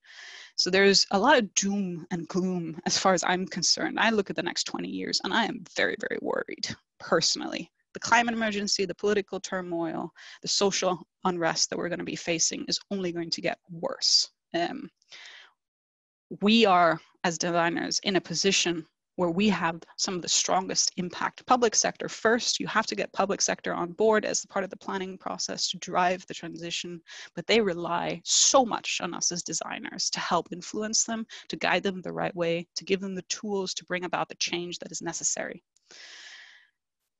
which brings me to the good news part of this slide. Um, so my uh, originally I'm from this island, um, which is in the middle of Denmark, um, and this island is called Samsø, um, and it's uh, known as the renewable energy island. It um, in uh, 1997 um, it had the dubious honor of winning a competition to prove that it was possible to decarbonize the energy supply fully within a time 10 year time frame no extra funding provided just just uh, you know set a target and go go at it um, and uh, it was the poorest or bottom two i think a, lo- local authority in denmark at the time um, mass unemployment um, lots of businesses closing down it was actually a really depressing place to be uh, it's no longer in the bottom two poorest local authorities. It's not even in the bottom 10 anymore. Um, within between 1998 and 2008, it went from um, 0% or 2% renewable energy installations to um, the equivalent generation of renewable energy on the island to power 140% of all of its energy supply. Um, and that includes, it's a tourism hotspot, so um, it has a normal population of 3,500 and that grows to over 40,000 in the summer. Not only was it powering enough renewable energy to decarbonize the local population consumption, but it also covered all tourism on the island, including all transport to and from the island and all of the food waste. Um, I don't want to interrupt your good news story, but I do want to interrupt you. So please finish up if you could, please. I am finishing up. Thank you. Anyways, the point is that uh, this happened between uh, 1998 and 2008. That's already a while ago. It's it is possible. It happened again. Uh, one local energy champion drove that change again, demonstrating the power of individuals. Brought everybody else on board. It was a hard slog, but it's definitely doable. Um, so I suppose the, the closing point would be we may all need to start somewhere, but that somewhere starts with thinking about what our role is and what we can do as individuals, um, uh, professionally and, and uh, personally, to, to combat the, the, climate emergency. So, thank you.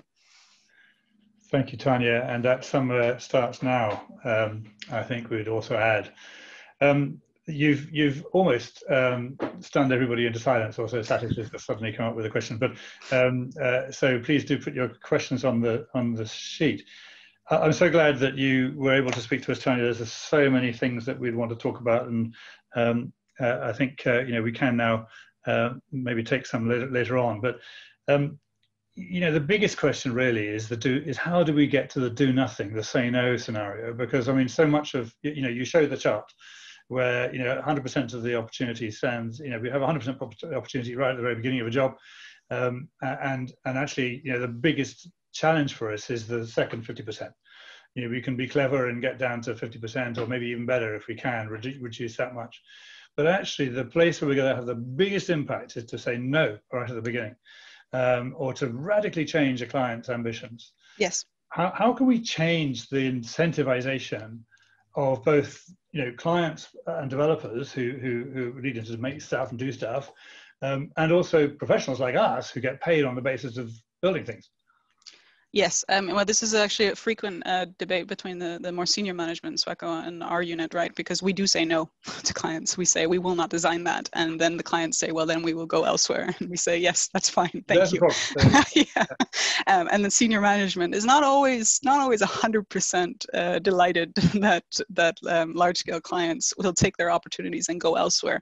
But it draws a clear line in the sand, right? We say we cannot, we we cannot, we are compromised. We we cannot do what you are asking us to do. We it just it fu- it fundamentally goes against everything we stand for and even though I mean, I wouldn't say they all get mad and leave. Um, actually, quite a few. I'd say about uh, forty uh, percent will at least stop, think, and listen, and and reconsider. Um, so we that that is forty percent. Uh, another twenty percent are the ones who get mad and leave, and then the forty percent, the remaining forty percent, will tend to waffle on for for a bit and, and get stymied um, mm. uh, and wait for to hear back from others as well. Uh, it's not enough to be one consultant saying this to them. They want to hear it from multiple multiple opinions. But the 40% that that say, okay, well then what should we be doing instead? Those are the ones that we then see go forward and really drive change. You know, they're the ones who achieve the the highest global BREEAM standards. Uh, there are two. Uh, our buildings uh, team have a the you know driving a similar approach they're responsible for the two top global ranked BREEAM buildings in london um, mm. because they're just like no we're not we're not we're not we're not designing high temperature uh, heat networks that are going to create a 40% thermal loss within the building envelope we refuse and they say yeah. and if you want us to achieve a BREEAM standard then you have to do what we say otherwise you know we will go elsewhere sure. and that's the design team saying that to the client so it's a big, big problem, and this was a lot of our conversation we had at the Henderson Colloquium a few earlier in the week, um, and and uh, more on that a little later on. Uh, Satish has asked a question. Um, uh, you know, it's an interesting one. There's a sort of balance, isn't there? You can you can use recycling material. Of course, you can recycle your aggregate and so on. But of course, that requires energy to break it down. Um, and, there's a sort of left-hand, right-hand balance to to get right. In your experience, how do we get that balance right? Um, well. So I mean, if it's concrete, concrete is one of the most carbon intensive um, uh, yeah, building components we have, right? Couldn't use it. yeah. it is. It is absolutely one of the most most mo- most uh, carbon intensive. Uh, um, so if we're using concrete, first of all, should we be using concrete? If we're if we're breaking down an existing building, how much can we reuse that concrete rather than just shipping it off to landfill? There's a clear carbon cost um, benefit there for sure that we've seen.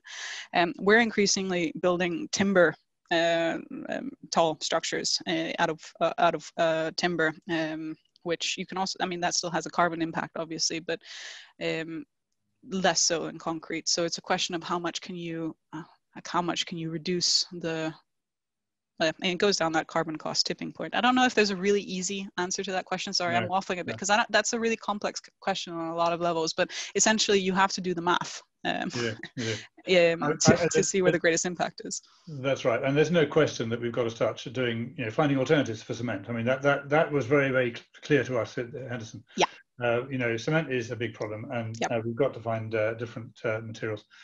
Uh, and timber, yes, let's use more CLT. We can build, you know, 10, 12, 15, even 18, I think now stories uh, in, in, timber. Um, so, you know, let's do it um, and make a change.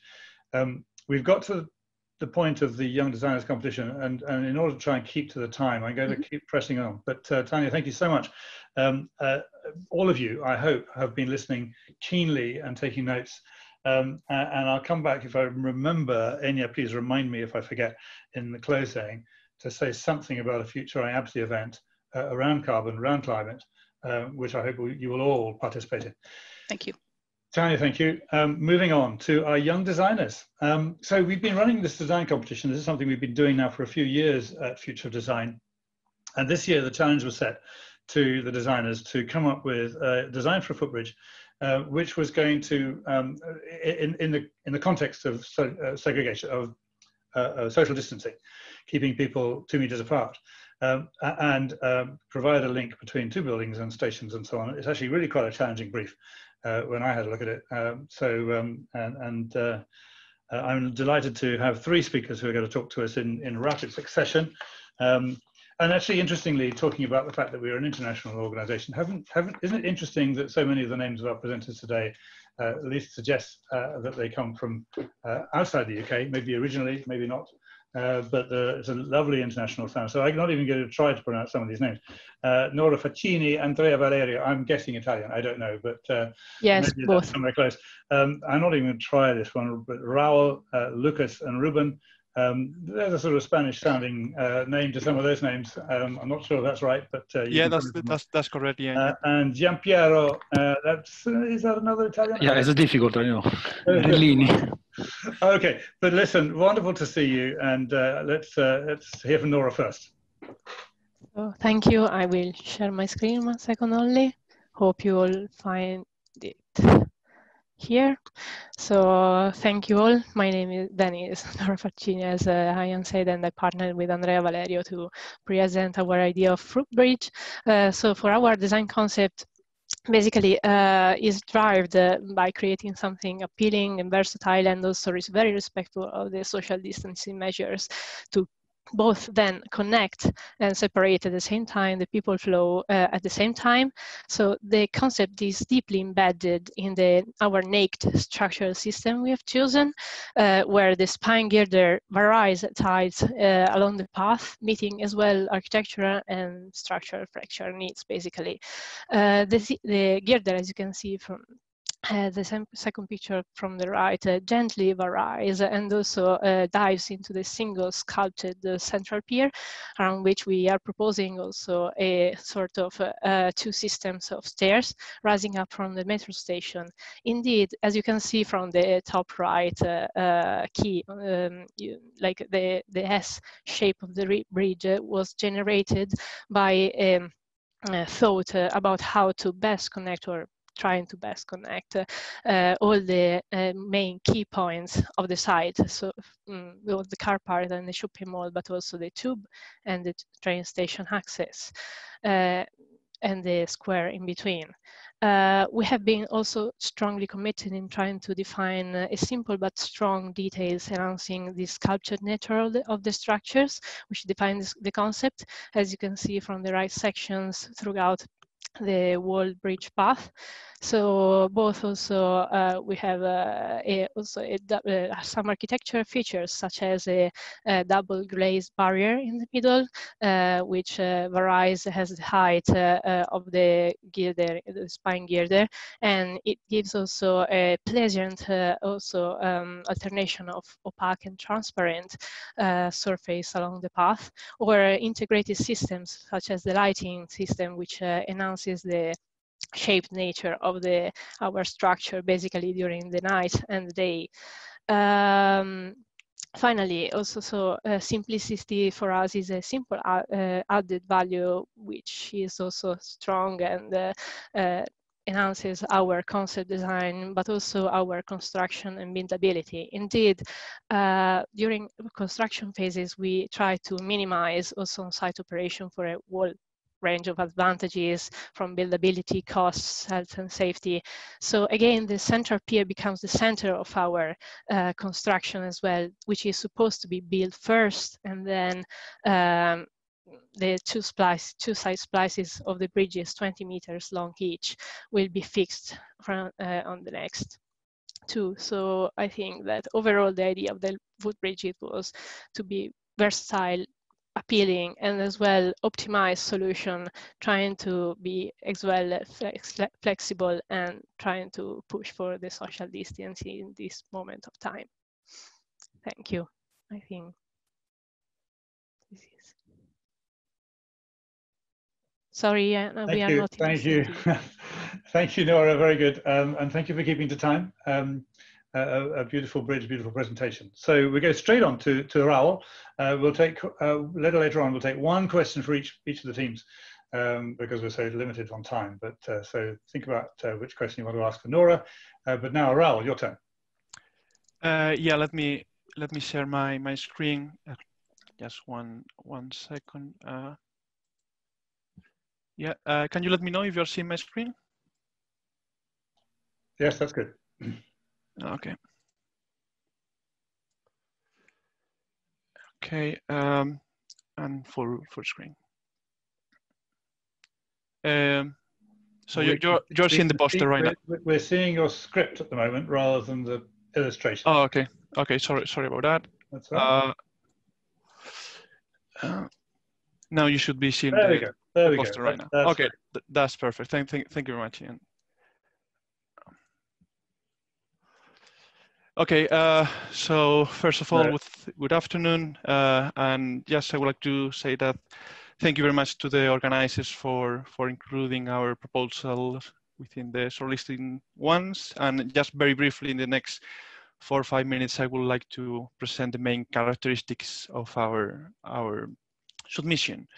Uh, so from the beginning of, of this of this competition, we look at the design brief, and as I think you were already mentioning, Ian, uh, it has quite a lot of different um, constraints that we have to look into. So uh, in terms of um, interconnecting different transport modes, the um, uh, we have the rail uh, the railway, we have the um, the and the highway, we have to maintain social distancing. So there's actually quite quite um, is quite uh, is quite defined for the different different um, constraints. So this uh, uh, for us we, we look into it in a way that we wanted to come up with a very integrated design that is a design that integrate all these constraints into it directly and this naturally led to what you are seeing at the moment on the screen that is what we call the hub concept uh, that the main function of it, as is of, of a hub, is to interconnect different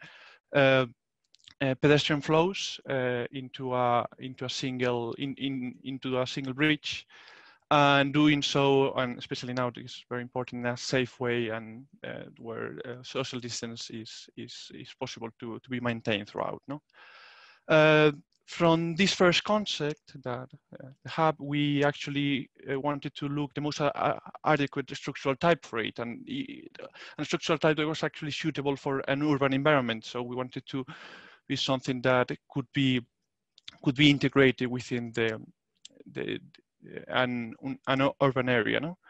Uh, this uh, led us to a composite bridge design that uh, you you can see in the on the screen and probably uh, what is calling more your attention is the, the central pier. So uh, you can see here that is probably the most architectural feature of the of the footbridge itself that uh, um, we have actually um, just a, from a pre-concept point of view we have actually optimized the, the geometry of it this as you can see it has uh, each of the pylons has a different angle so we have tried to optimize this shape to uh, so we reduce the bending moments on the uh, on the pylons itself and also on the pile cap that sits below. Um, uh, also, we have uh, reduced the amount of material between the pylons itself, uh, and that actually gives gives the, this um, sculptorial shape almost like that almost looks like standing stones, no? Uh, I would say. Um, actually this central pier, the, the shape of this central pier, the, the, specific geometry actually, from a design point of view, give, gave us three main advantages. Uh, one of them is uh, reduces the span length because of its shape. So, and actually also to have three spans instead of two. So actually uh, uh works a bit better in terms of construction sequence and, and uh, and also gives up this very allows us to give this very slender um, bridge deck uh, shape, uh, facilitates construction as, as you just mentioned, and also allows to integrate the the two lifts that you can see here and also the stairs within it. So we have two two stairs, uh, one or two that goes to each side, and and the lifts also integrated within it. Uh, the bridge deck is uh, basically uh, comprises a steel box girder one minute. And, One minute. Yeah, and a concrete a concrete um, deck on top, and the um, the um, uh, parapet actually comprises steel um, steel mullions and a, a glass uh, and glass panels as you as you can see. So I think more or less this summarizes uh, the main characteristics of our design. And I think from our point of view, we have achieved a quite aesthetically pleasing solution that addresses all the constraints, uh, not just battery adapting the design to Beauty, but doing so in a structurally efficient way. And I think uh, that more or less summarizes all. And I think happy to take questions at the end. And yeah, uh, thank, thank you very much, everyone. Okay, thank you very much to Team 13. Um, and we'll move swiftly on to the last one of the three shortlisted designs, Team 16, Giampiero. Uh, tell us about your design. Can you share your screen? So,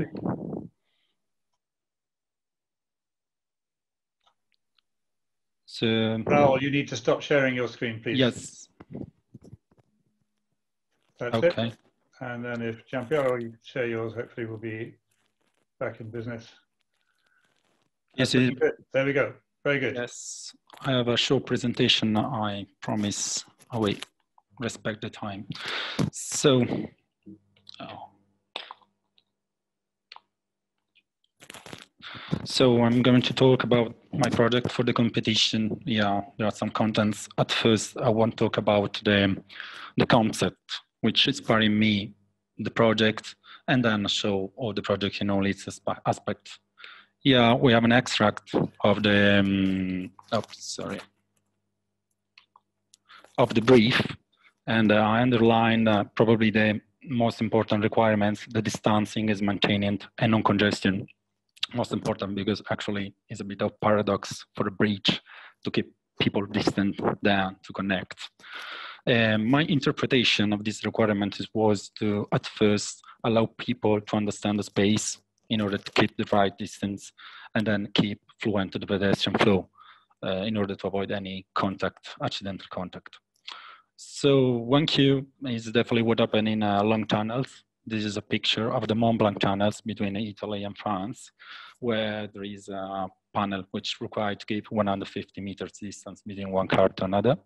And uh, it could be difficult for the driver to understand this distance without any help.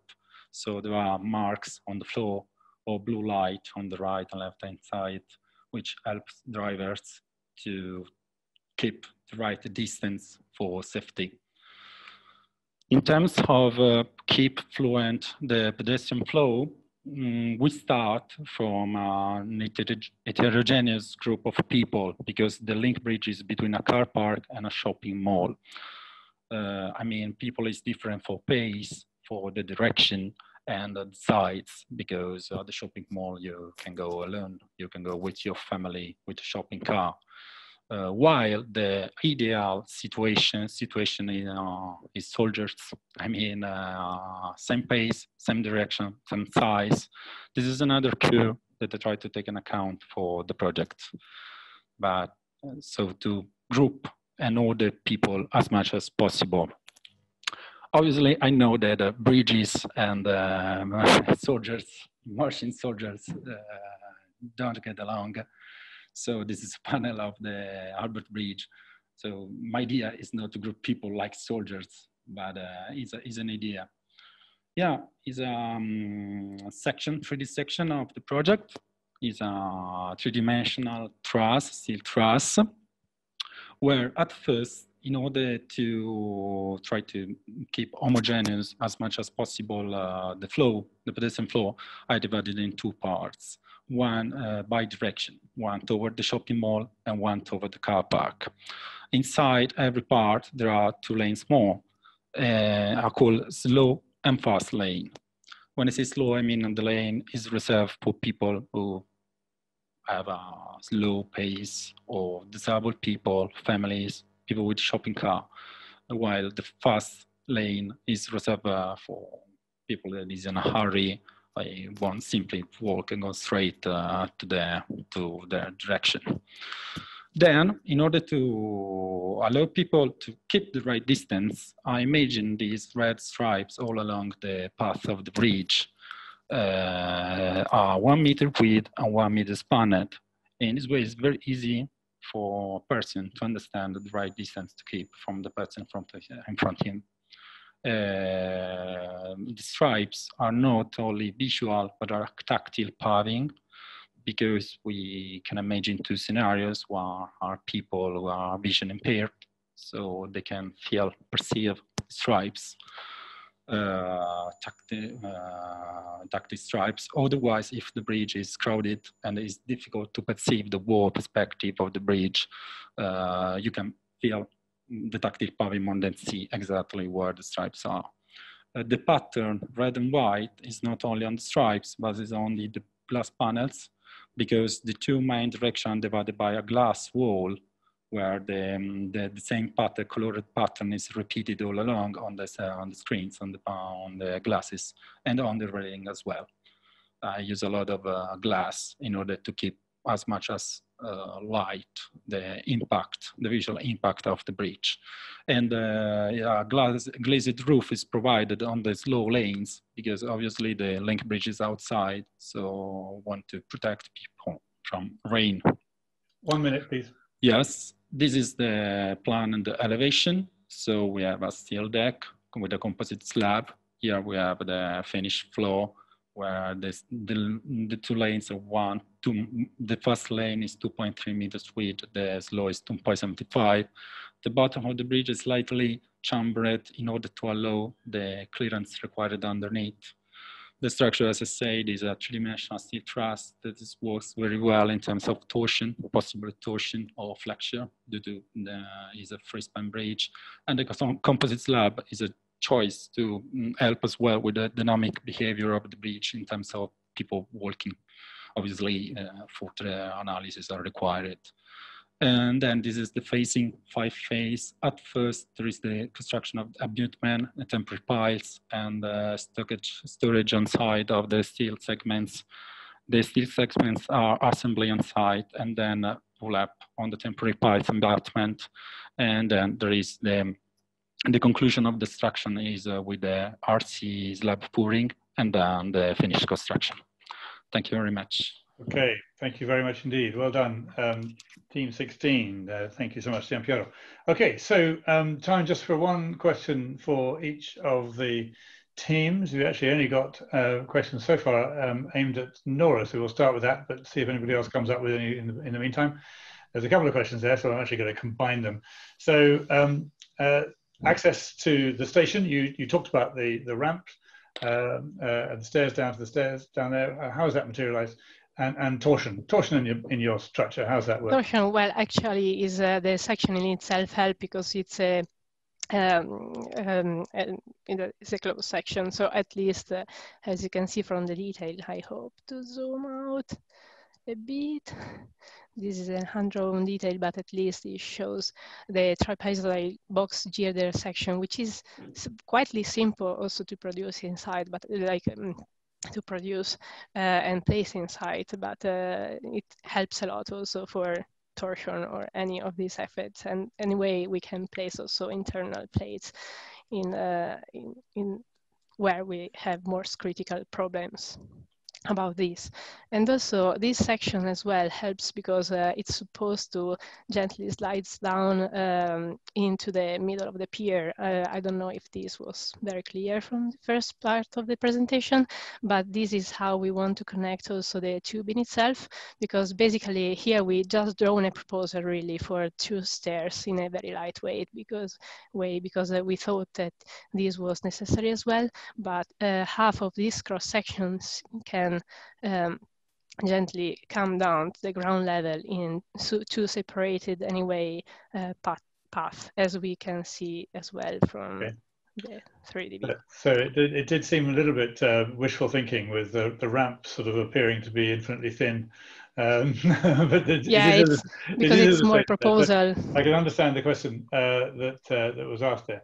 Yeah. Um, the, does anybody have any you. questions for the other teams? Um, I, I, have one actually for for uh, the last one, Giampiero. The, the, the, you, you have the one meter module everywhere. Yeah. Uh, it feels rather busy. I mean, you could achieve the same effect, couldn't you, without having to necessarily have, you know, mullions every meter. You know, all the glass panels one meter long. You could do it with the surfacing in the floor. You could even do two meter panels. Did you feel that you could make it less busy? Uh, probably yes, probably yes, because actually one meter is a short span but um, I, I literally read the brief to respect as much as possible social distancing. So now when we, everyone talk about this famous meter between one to another, and I want to use as a, to repeat as much as possible this concept. Yes, it looks busy, but uh, it's, a, it's not a normal bridge. It's not a bridge for socializing for visual I mean, uh, for uh, good aesthetics is a bridge uh, which uh, help uh, to respect yeah. this or the condition. Sure. Okay. And um, and Raul, you had a, a, a, suggestion, I think, if I got you right, uh, of um, temporary glazing screens to separate people, which would then be removed after. Is that right? Yeah. Yeah, exactly. That's one of the things that we look into that, and actually that goes back and I think uh, Nick commented on the morning that yeah, I mean, we are designing, some, especially civil infrastructure is designed for 120 years. And uh, in terms of designing for the pan, pan, for the pandemic, I mean, we will have the pandemic with us probably for, I mean, at least a year, two, three, four, no one really knows. But, no, but uh, up to which point makes sense to design uh, for um, COVID, uh, for the structures are going to be there for the next 100, 120, 150, 200 years. No, yeah, so right. in that in that sense, we we made it COVID proof, but we made it in a way that once the pandemic, uh, I mean, in a post-COVID area, uh, things can be removed, and if we have a pandemic in the future, they can be put back. So, yeah, the, the, the uh, for instance, we have between the two stairs, we we have temporary temporary glazing, tempor temp uh, temporary parapet that they can be removed, especially because uh, in terms of uh, flux of uh, pedestrians, you may have uh, difference in, in, in the morning than in the afternoon and things like that. So that okay. will help. Sorry, I would like also to underline how this it was part of our concept as well in the central part of the barrier as well. Yeah. Sorry, just yeah, no, that's absolutely right, highlight. Thanks. Um, you, you can all see the, um, this I imagine you can see, maybe you can't, maybe it's only me that can see it. Uh, I can see the polling going on um, I can also see that only 63% of you have, have voted. Somehow or other, there's a way of voting for these three um, competitions. Does, is this visible to everybody, Ania, or am I, is it just you and me who can see this? I'm not sure. Maybe maybe this is just because I'm I'm uh, I'm in the privileged position of being able to see it. Which so I'm not going to say in case I give the game away as to yeah. I don't think everybody can see the results. Okay, good. Well, I'm, everybody can I vote. I'm glad I didn't uh, didn't reveal uh, what the um, that the the audience are thinking. So there's still time to vote. Um, so vote on whatever button it is that you may be able to see to be able to um, to vote for one, which one of those three that you like best, and we will come back to that at the end. Um, but for now, we've got a few more minutes to discuss um, the other two presentations as well. So Tanja and Paolo, please turn your um, microphones back on. Thank you to your to you three presenters, uh, young presenters of your designers, uh, your designs uh, from your competition. Thank you very much indeed. Well done. A challenging thing to do. But let's go back to the two present presentations we heard earlier on from Paolo and uh, Tanja from DART and Carbon. Um, any questions um, from anybody on this. Satish has been making some questions or comments about uh, CO2 and embodiment and so on in cement. Um, I mean, I think this is a well-known issue, and and and you know, I don't think we really to spend too much time uh, talking about the thing in detail because we all know the problem with cement. We all know the problem with concrete. At least I hope we do. Um, uh, if, you don't, then you really need to educate yourselves. Uh, let me please just use a moment to do a quick plug, actually. Um, one, of the other hats I wear, of course, is from the iStructE, um, and I'm going to just wave at you, the structural engineer, because the current uh, edition of the structural engineer, if you don't get it yourselves, please make sure you find somebody who's got it, um, because uh, we're very much focusing at the moment at the institution on this carbon issue. And in fact, last month's edition as well is worth finding because there's a lot of really useful stuff, uh, really important stuff in there about what are we doing. Um, so, who wants to ask some questions uh, on on these uh, other the topics we had earlier on? Um, Tanja, I'd love to, to, to, to, talk more about the, the, the, carbon thing and this sort of cost tipping point, which you mm. very clearly showed. There comes a point where it's going to get more expensive mm -hmm. um, to, to get down to 0 mm -hmm. um, what are the sort of things that we're we're doing, what are you seeing as the actual things that people do? Is this a different material? Is a different process? What are the things that actually are costing more? Um, I mean, there's a huge variance um, uh, between types of projects. Like I mentioned before, I'm, I'm, i mainly work on the energy systems side. So, um, I mean, some of the projects we're involved in, and I like the, we're doing the largest smart city energy regeneration project in Peterborough City Centre, which is about decarbonizing across all vectors, so transport, heating, electricity, uh, and then putting in storage and smart grid controls. Um, so I on the, I work very much on the decarbonizing the energy supply side, um, and then implementing that in buildings. What are we seeing? We're seeing that um, we're seeing that um, operational carbon, lifetime carbon from from buildings is still significantly higher than the embodied carbon. There, more attention is being paid to embodied carbon, which is great, but operational carbon tends to be what drives the overall lifetime carbon emissions of projects, and that's irrespective of whether it's roads, where the operational carbon is the emissions from cars, um, or whether it's um, buildings and how they're used currently and the what, what's that British saying? Uh, pennies prevention is a pound cure. The cost costs uh, the cure is a pound and, uh, the the prevention is a penny. There's a old British so, saying. I, have not I've not got that one at the my, my fingertips, but maybe somebody has. I, I, think you mentioned embodied carbon and, and, and operational carbon, but I mean, mm. you, you, know, actually, uh, in the buildings field, in the building structures field that we we, we work in, uh, not sorry, not structures in buildings, um, the operational energy issue is largely being solved, isn't it?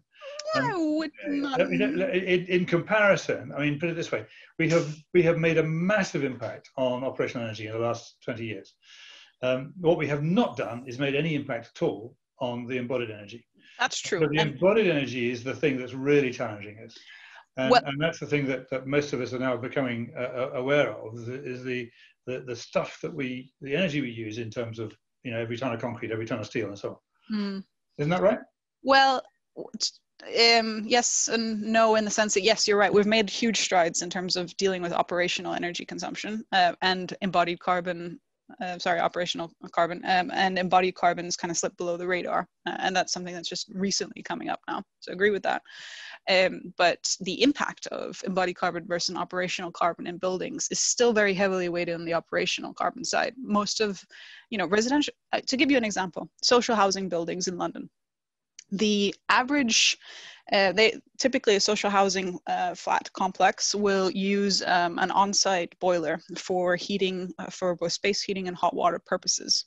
The average efficiency of that boiler in terms of converting natural gas into viable heating um, that's used heating in each of these flats is somewhere between 20 and 30 percent that's 70 percent waste yeah that's okay. that's now that's yeah. happening right now yeah. that has a huge operational carbon impact it's true that operational carbon through for example uh, the decarbonization of the electricity grid is massively helping um, in terms of the overall carbon impact of buildings but if you're dealing with uh, buildings on gas boilers, which is still the vast majority of all existing properties in the UK, then it's a different scenario because yeah. the I mean, it's, it's, I mean, you, I'm sure you're absolutely right. I mean, I think perhaps what's in my mind is that you know we have seen um, changes in building regulations, for example, which focus on uh, on operational energy and, mm-hmm. and reduction of, of, of, of energy, heat loss, and all that sort of stuff. But we've not seen corresponding change in how we build in the first place. This yet. Uh, and that I am absolutely certain is, is, coming. Um, you've all gone very quiet, apart from the fact that some of you have answered the, the penny pound question. Thank you for that. Um, but please do keep your, your questions coming for these two, and indeed, actually, for any of our speakers, if you've still got questions for our uh, earlier speakers. Um, I, I, see that Clotilde's question is there, but I think we did answer that one uh, about the, the way that COVID has been uh, affecting our projects. Uh, we've been talking about that quite a lot, um, and I think strategic questions we dealt with. So please do keep your questions coming. Uh, but Paolo, to come back to you, and the question that I sort of threw at you just at the end of uh, the earlier session uh, about the design definition procurement process that you yep. at Arup are very good at promoting. Um, where you know you you do quite a lot of design work up front. You know your client is going to basically pay for your for the design twice because you're going to do a, a, a, almost a fully detailed design uh, and then define bits of it that have to be maintained by the design build contractor, who will of course appoint their own designer. In this your case for the bridge, it was Tony Gee and Partners, um, uh, and and they are then constrained by by the design definition relatively easy to define overall issues, overall geometry, materials, and so on. But but allowing enough flexibility for the contractor and his designer to innovate, to find cost-effective solutions and all that sort of stuff is really important as well, isn't it? You don't want to pin it down too much. And how yeah. do you deal with the details? Because the details are often so important. Um, I mean, there's two questions there, I guess. Well, the first one, I totally agree with you that we shouldn't be constraining the, the, the contractors or the supply chain too much. So it's all about striking the balance between what are the client expectations and and, uh, and, and what we do, what type of freedom uh, do you allow? And obviously, in the past, things have gone spectacularly wrong on the the wrong side, whereby clients expected to have a certain product ended up having a totally different product. Uh, and perhaps not getting as much as the savings that were made throughout the process.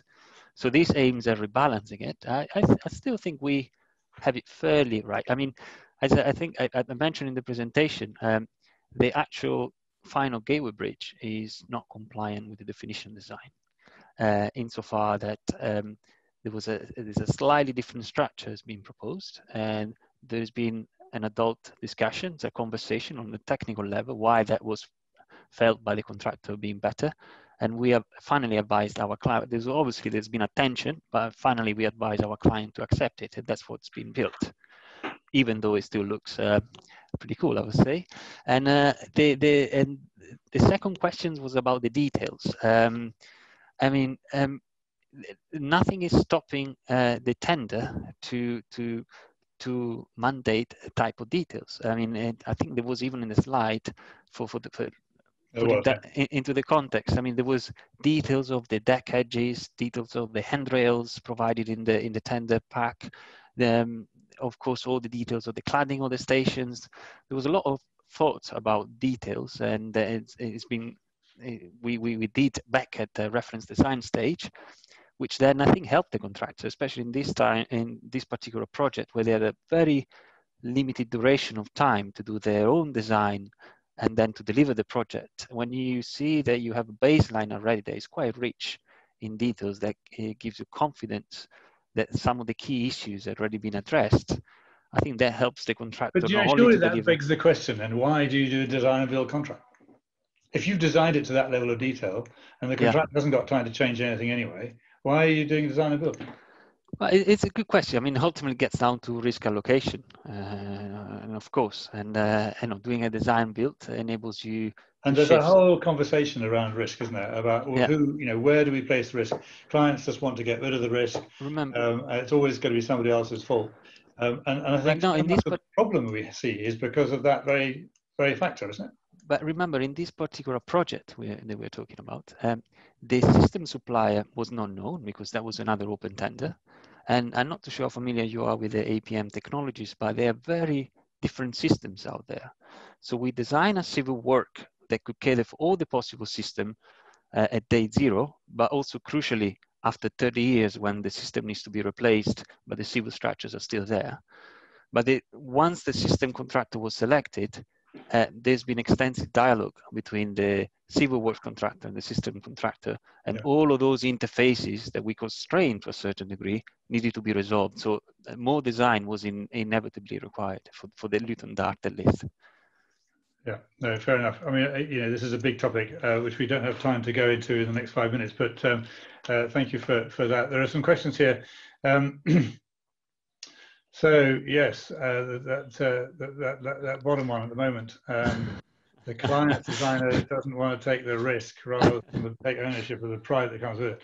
Uh, I, I, I, think I might leave that to one side because that's a little bit, um, uh, uh, uh, yeah. I mean, it's a good point. It's a very well made point, um, but I think that's that's not the the primary reason why we use design and build. Premature demolition of buildings for economic reasons. Yes, Satish, you're absolutely right. Developers get their money back in five years, and so they're not too concerned about long life. How do we make sure, everybody can answer this question, how do we make sure that the long life is really uh, thought about? In bridges, we know, we're, we're used to it. We're kind of used to making sure that we've got a 120 year kind of mindset. But what about in buildings? Making sure that people are thinking long life, reuse, you know, change of use, all of that kind of stuff. It's if I can jump in first, then there, Ian. I mean, it circles back to what you were saying about why why do a design and build contract. Certainly, with um, if you're dealing with buildings or the energy, certainly the energy systems infrastructure within buildings, uh, what we see is design, build, operate, and maintain contracts tend to be um, yep. uh, more beneficial of ensuring the lifetime costs of those assets remain low. Um, and there's there are any number of horror stories of uh, design and build energy infrastructure and buildings which gets handed over from a developer to uh, an operator uh, at, yeah. at, after uh, after the initial build out is complete, and they then have to spend a fortune on, on essentially re, re redoing um, a lot of the elements uh, yeah. because there's no thought to the lifetime costs thought into it.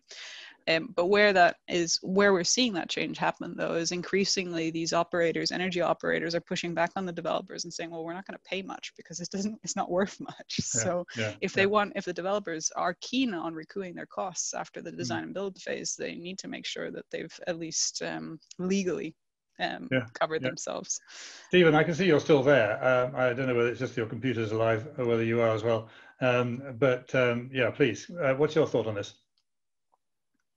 Yeah, no, it's a it's it's a it's a real challenging um, area because, like you said, in in the past it has all been about doing things as cheaply as possible. But I think I do feel that there's been a little bit of a shift um, more recently, and and I think it's it's the, the key thing that we can do is have those discussions with the right people um, because you know you can be working on a project and say the project manager or somebody who's uh, just looking after that project will have their own um, their own goals and what they'll be focusing on. But you know, we, we kind of need to bypass that and get further up the chain um, and have those sorts of discussions, you know, a bit more strategically and just a bit more thinking a bit more holistically. And you know, we're we're kind of finding that with um, you know the, the UN SDGs, um, where yep. you know this is this is this is a framework that yep. we, we kind of need to follow. And and often what we're finding on new projects now is that we arrange a, an SDG workshop, and, and again, we're not having the discussions with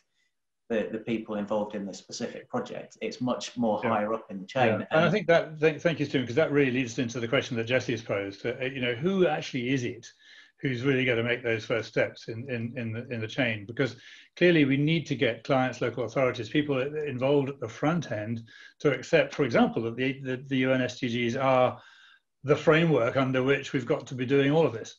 Uh, and that will have an effect to, uh, on, every decision that's made on the project from the very, very first. Um, who wants to just comment on that? I mean, who, who, who, how do we get those people? How do we get the clients and local authorities to, to understand and only commission projects that are done in the right way? Paolo, do you want to answer that? Well, that's a, that's a very difficult question. I mean, there obviously needs to be um, legislation in place. Um, um, I mean, for instance, I've been recently working in, in some uh, bridge projects in the Netherlands, a refurbishment of bridges, and uh, there is a key constraint there that for all new investment in infrastructure uh, that needs to be uh, carbon neutral, uh, and that is a precondition yep. to to receiving yep. funding. Yep. So, at legislation level, that constrains you. And but Boris is saying build, build, build, isn't he? And uh, you know, uh, which is probably not the right sort of message uh, for for um, for a situation where we're trying to build less, uh, or at least build more responsibly. Um, uh, one one more answer to that question, uh, Tanja, go on.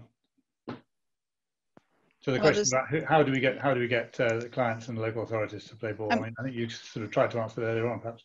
Yeah, well, I mean, I showed a slide earlier on saying where's the greatest potential for decarbonization, right? And planners are at the forefront of that. Right. But how do you get planners to put that, and how do you get legislation to put that? Well, you have to get, as you were saying, the top political um, forces involved and make those mm. decisions. So, mm. um, typically, you need the senior stakeholders, both in local policy, like local government and yep. and uh, central government, to to be committed to this. And if you don't have that backing from a senior level, then you can't make those legislative or planning decisions. It's right. really, really, really difficult.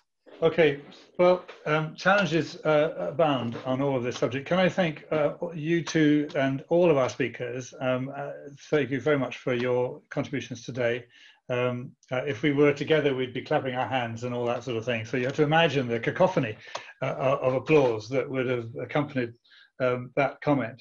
But thank you anyway. Um, I think, and yeah, it's probably time for you to declare yourself. Um, and in fact, it'd be quite nice to see the team uh, because I quite like to see your faces so that we can say thank you.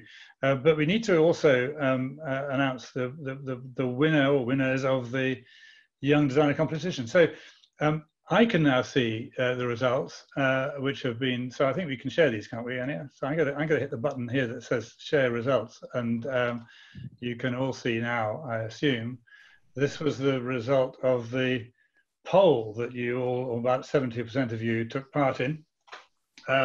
Uh, so there's a big smile from Nora. Um, well done, Nora. Team 10. Thank you. Uh, you seem to have uh, captured the imagination uh, and the, uh, the uh, support. well done, the other two as well. Um, we, we, we, of course, there, there was a, a, as it were, an official judging um, done in advance, which first of all got you to the shortlist um, and, and actually also looked uh, more closely at uh, you know winners and so on. And the judges I know had a really hard time to select just one um, winner. Um, uh, uh, so what we did, what they did, I should say, I was part of them, but what they did was to select two. Um, some may think that's copping out, but uh, there were nevertheless uh, two two winners, and indeed, Team Ten was one of them. So Nora, congratulations, very very. Thank well you. Done. Um, Thank you all. Very, very well done. And so there you are. There's your certificate. We can hand it over to you with great ceremony. Uh, maybe when we do see each other at some point, or when Ania uh, meets up with you or something, uh, you can actually have it and stick it on the wall. But many congratulations to Nora Andrea, uh, uh, Nora and Andrea.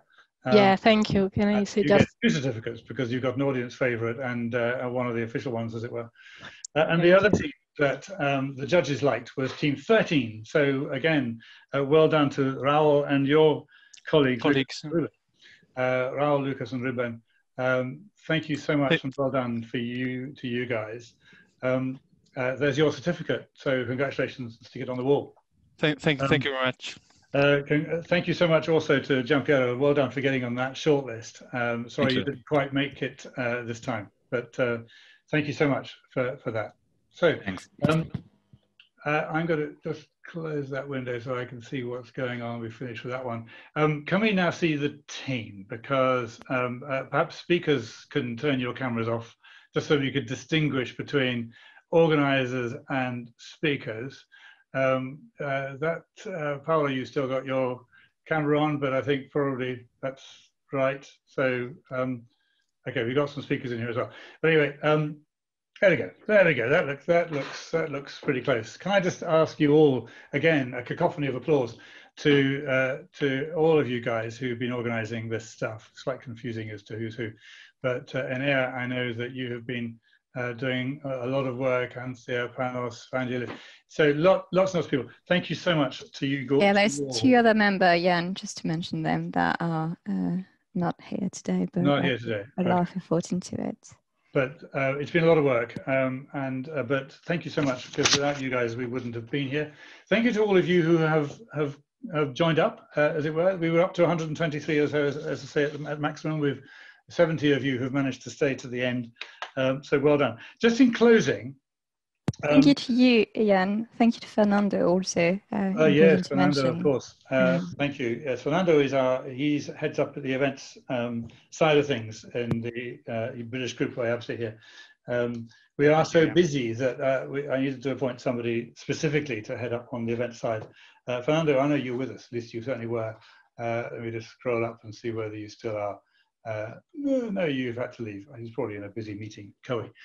Um, just briefly to finish, uh, to close in the last minute, um, please do um, have a look at our website. Please join, become a member of IABSE. It's one of the best things you'll do. I joined it many, many, many years ago uh, when I had more hair and it wasn't so grey. Um, and um, it was, you know, it has been a huge inspiration and valuable asset and resource for me throughout my my professional career. Um, and, and, you know, it's a fantastic way of of uh, learning from each other and, and building an international network. Um, follow us on, on Twitter, on LinkedIn. So look for IABSE UK or whatever um, our handles are. I can't remember what they all are now, um, but you'll see them, of course, if you go to our website, iabse.org.uk. Because one of the things I wanted to mention, as I've mentioned it already today, we talked a lot about carbon, we talked a lot about the climate. Uh, I want to be running an event um, which is sort of following on from the Henderson event we had earlier this week, but focusing very much more on the younger um, side of our professions because um, it is you guys who are going to make the difference. Me and my lot, we've made the mess. Okay, I'm sorry to say it. Uh, we really have. We've completely um, uh, messed up, and uh, it's you and the people who are coming after you. We need to raise the message again and again and again, uh, even to our my grandchildren, uh, you know, age, they need to be understanding this problem because we've got a big job to do to solve it. So I'm going to organise an event um, which will be around the climate issue um, uh, at some stage. The way to get involved will be to keep an eye on our website. Uh, if you join up, you'll get obviously the specifically targeted, focused newsletters and so on. So please do that. Uh, tell everybody about it and uh, join us when it happens. I don't know when it'll be, but it'll happen because it must. One that, more thing to mention, um, I think it's been asked a couple of times whether or not this is recorded. It has oh, yeah, been recorded and it will be shared when um, edited. Do we have the um, contact details for the people who have joined us? Yes. We do. Marvelous. Fabulous. Good. So in which case, I'm expecting to see at least another 66 uh, members of IABSE uh, in a week or two. Um, do join up. Uh, but thank you for joining us, and thank you again to the team and our speakers. Goodbye, and thank you. Uh, have a good lunch. Thanks all. Bye. Thank you. Goodbye. Bye.